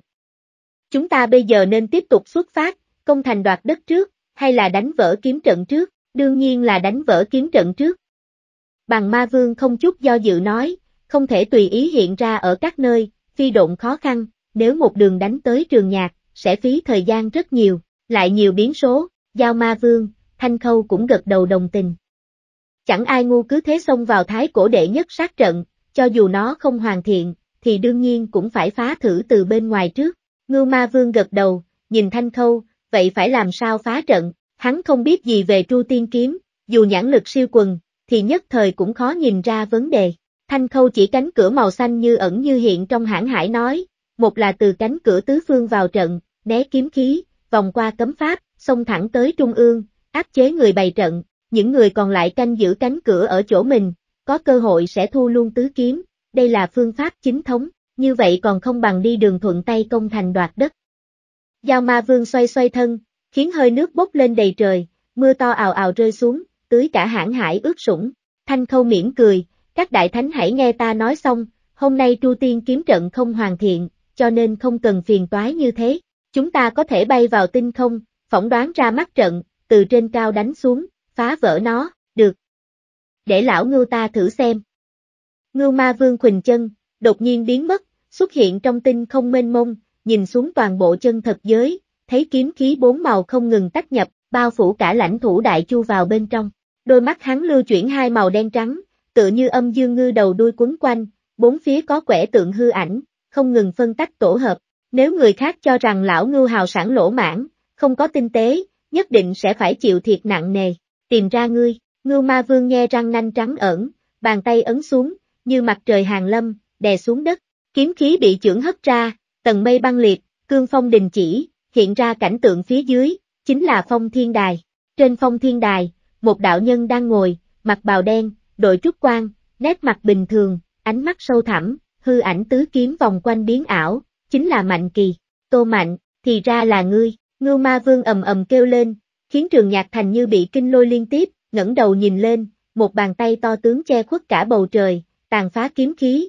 nhanh chóng ấn xuống, mỗi sinh linh so với nó chẳng khác gì con kiến. Mạnh kỳ chỉ một cái, hư ảnh tứ kiếm quanh người hợp nhất, bốn thanh kiếm ở Đông Hải, băng nguyên, Nam Hoang và hãng hải cộng minh, rực lên ánh sáng chói mắt, kiếm khí dân trào, tụ vào trong hư ảnh, thời không như nhất, vạn vật lẫn lộn vào nhau, hóa thành một thanh kiếm diệt trời diệt đất, tuyệt đao trên gối mạnh kỳ cũng bay lên, đao kiếm hợp kích, chém rách bầu trời, nên đón cự trưởng, đao kiếm quấn quanh, cánh tay khổng lồ đang ấn xuống tan nát, băng diệt thành tro, mọi thứ lại trở lại bình thường, cương phong phục khởi, tầng mây đoàn tụ, như chưa từng có chuyện gì xảy ra. Chu tiên tứ kiếm và bá vương tuyệt đao hợp kích, ngưu ma vương đứng trong tinh không, mắt thẩm lại, máu thịt ở bả vai mấp máy, mọc ra một cánh tay mới. Trong số những đại thánh vừa thoát khỏi phong ấn, hắn là kẻ duy nhất khôi phục tới cảnh giới tạo hóa, tuy vẫn chưa tới thực lực đỉnh phong, nhưng trong chư thiên vạn giới hiện giờ hầu như không có mấy ai có khả năng đè ép hắn,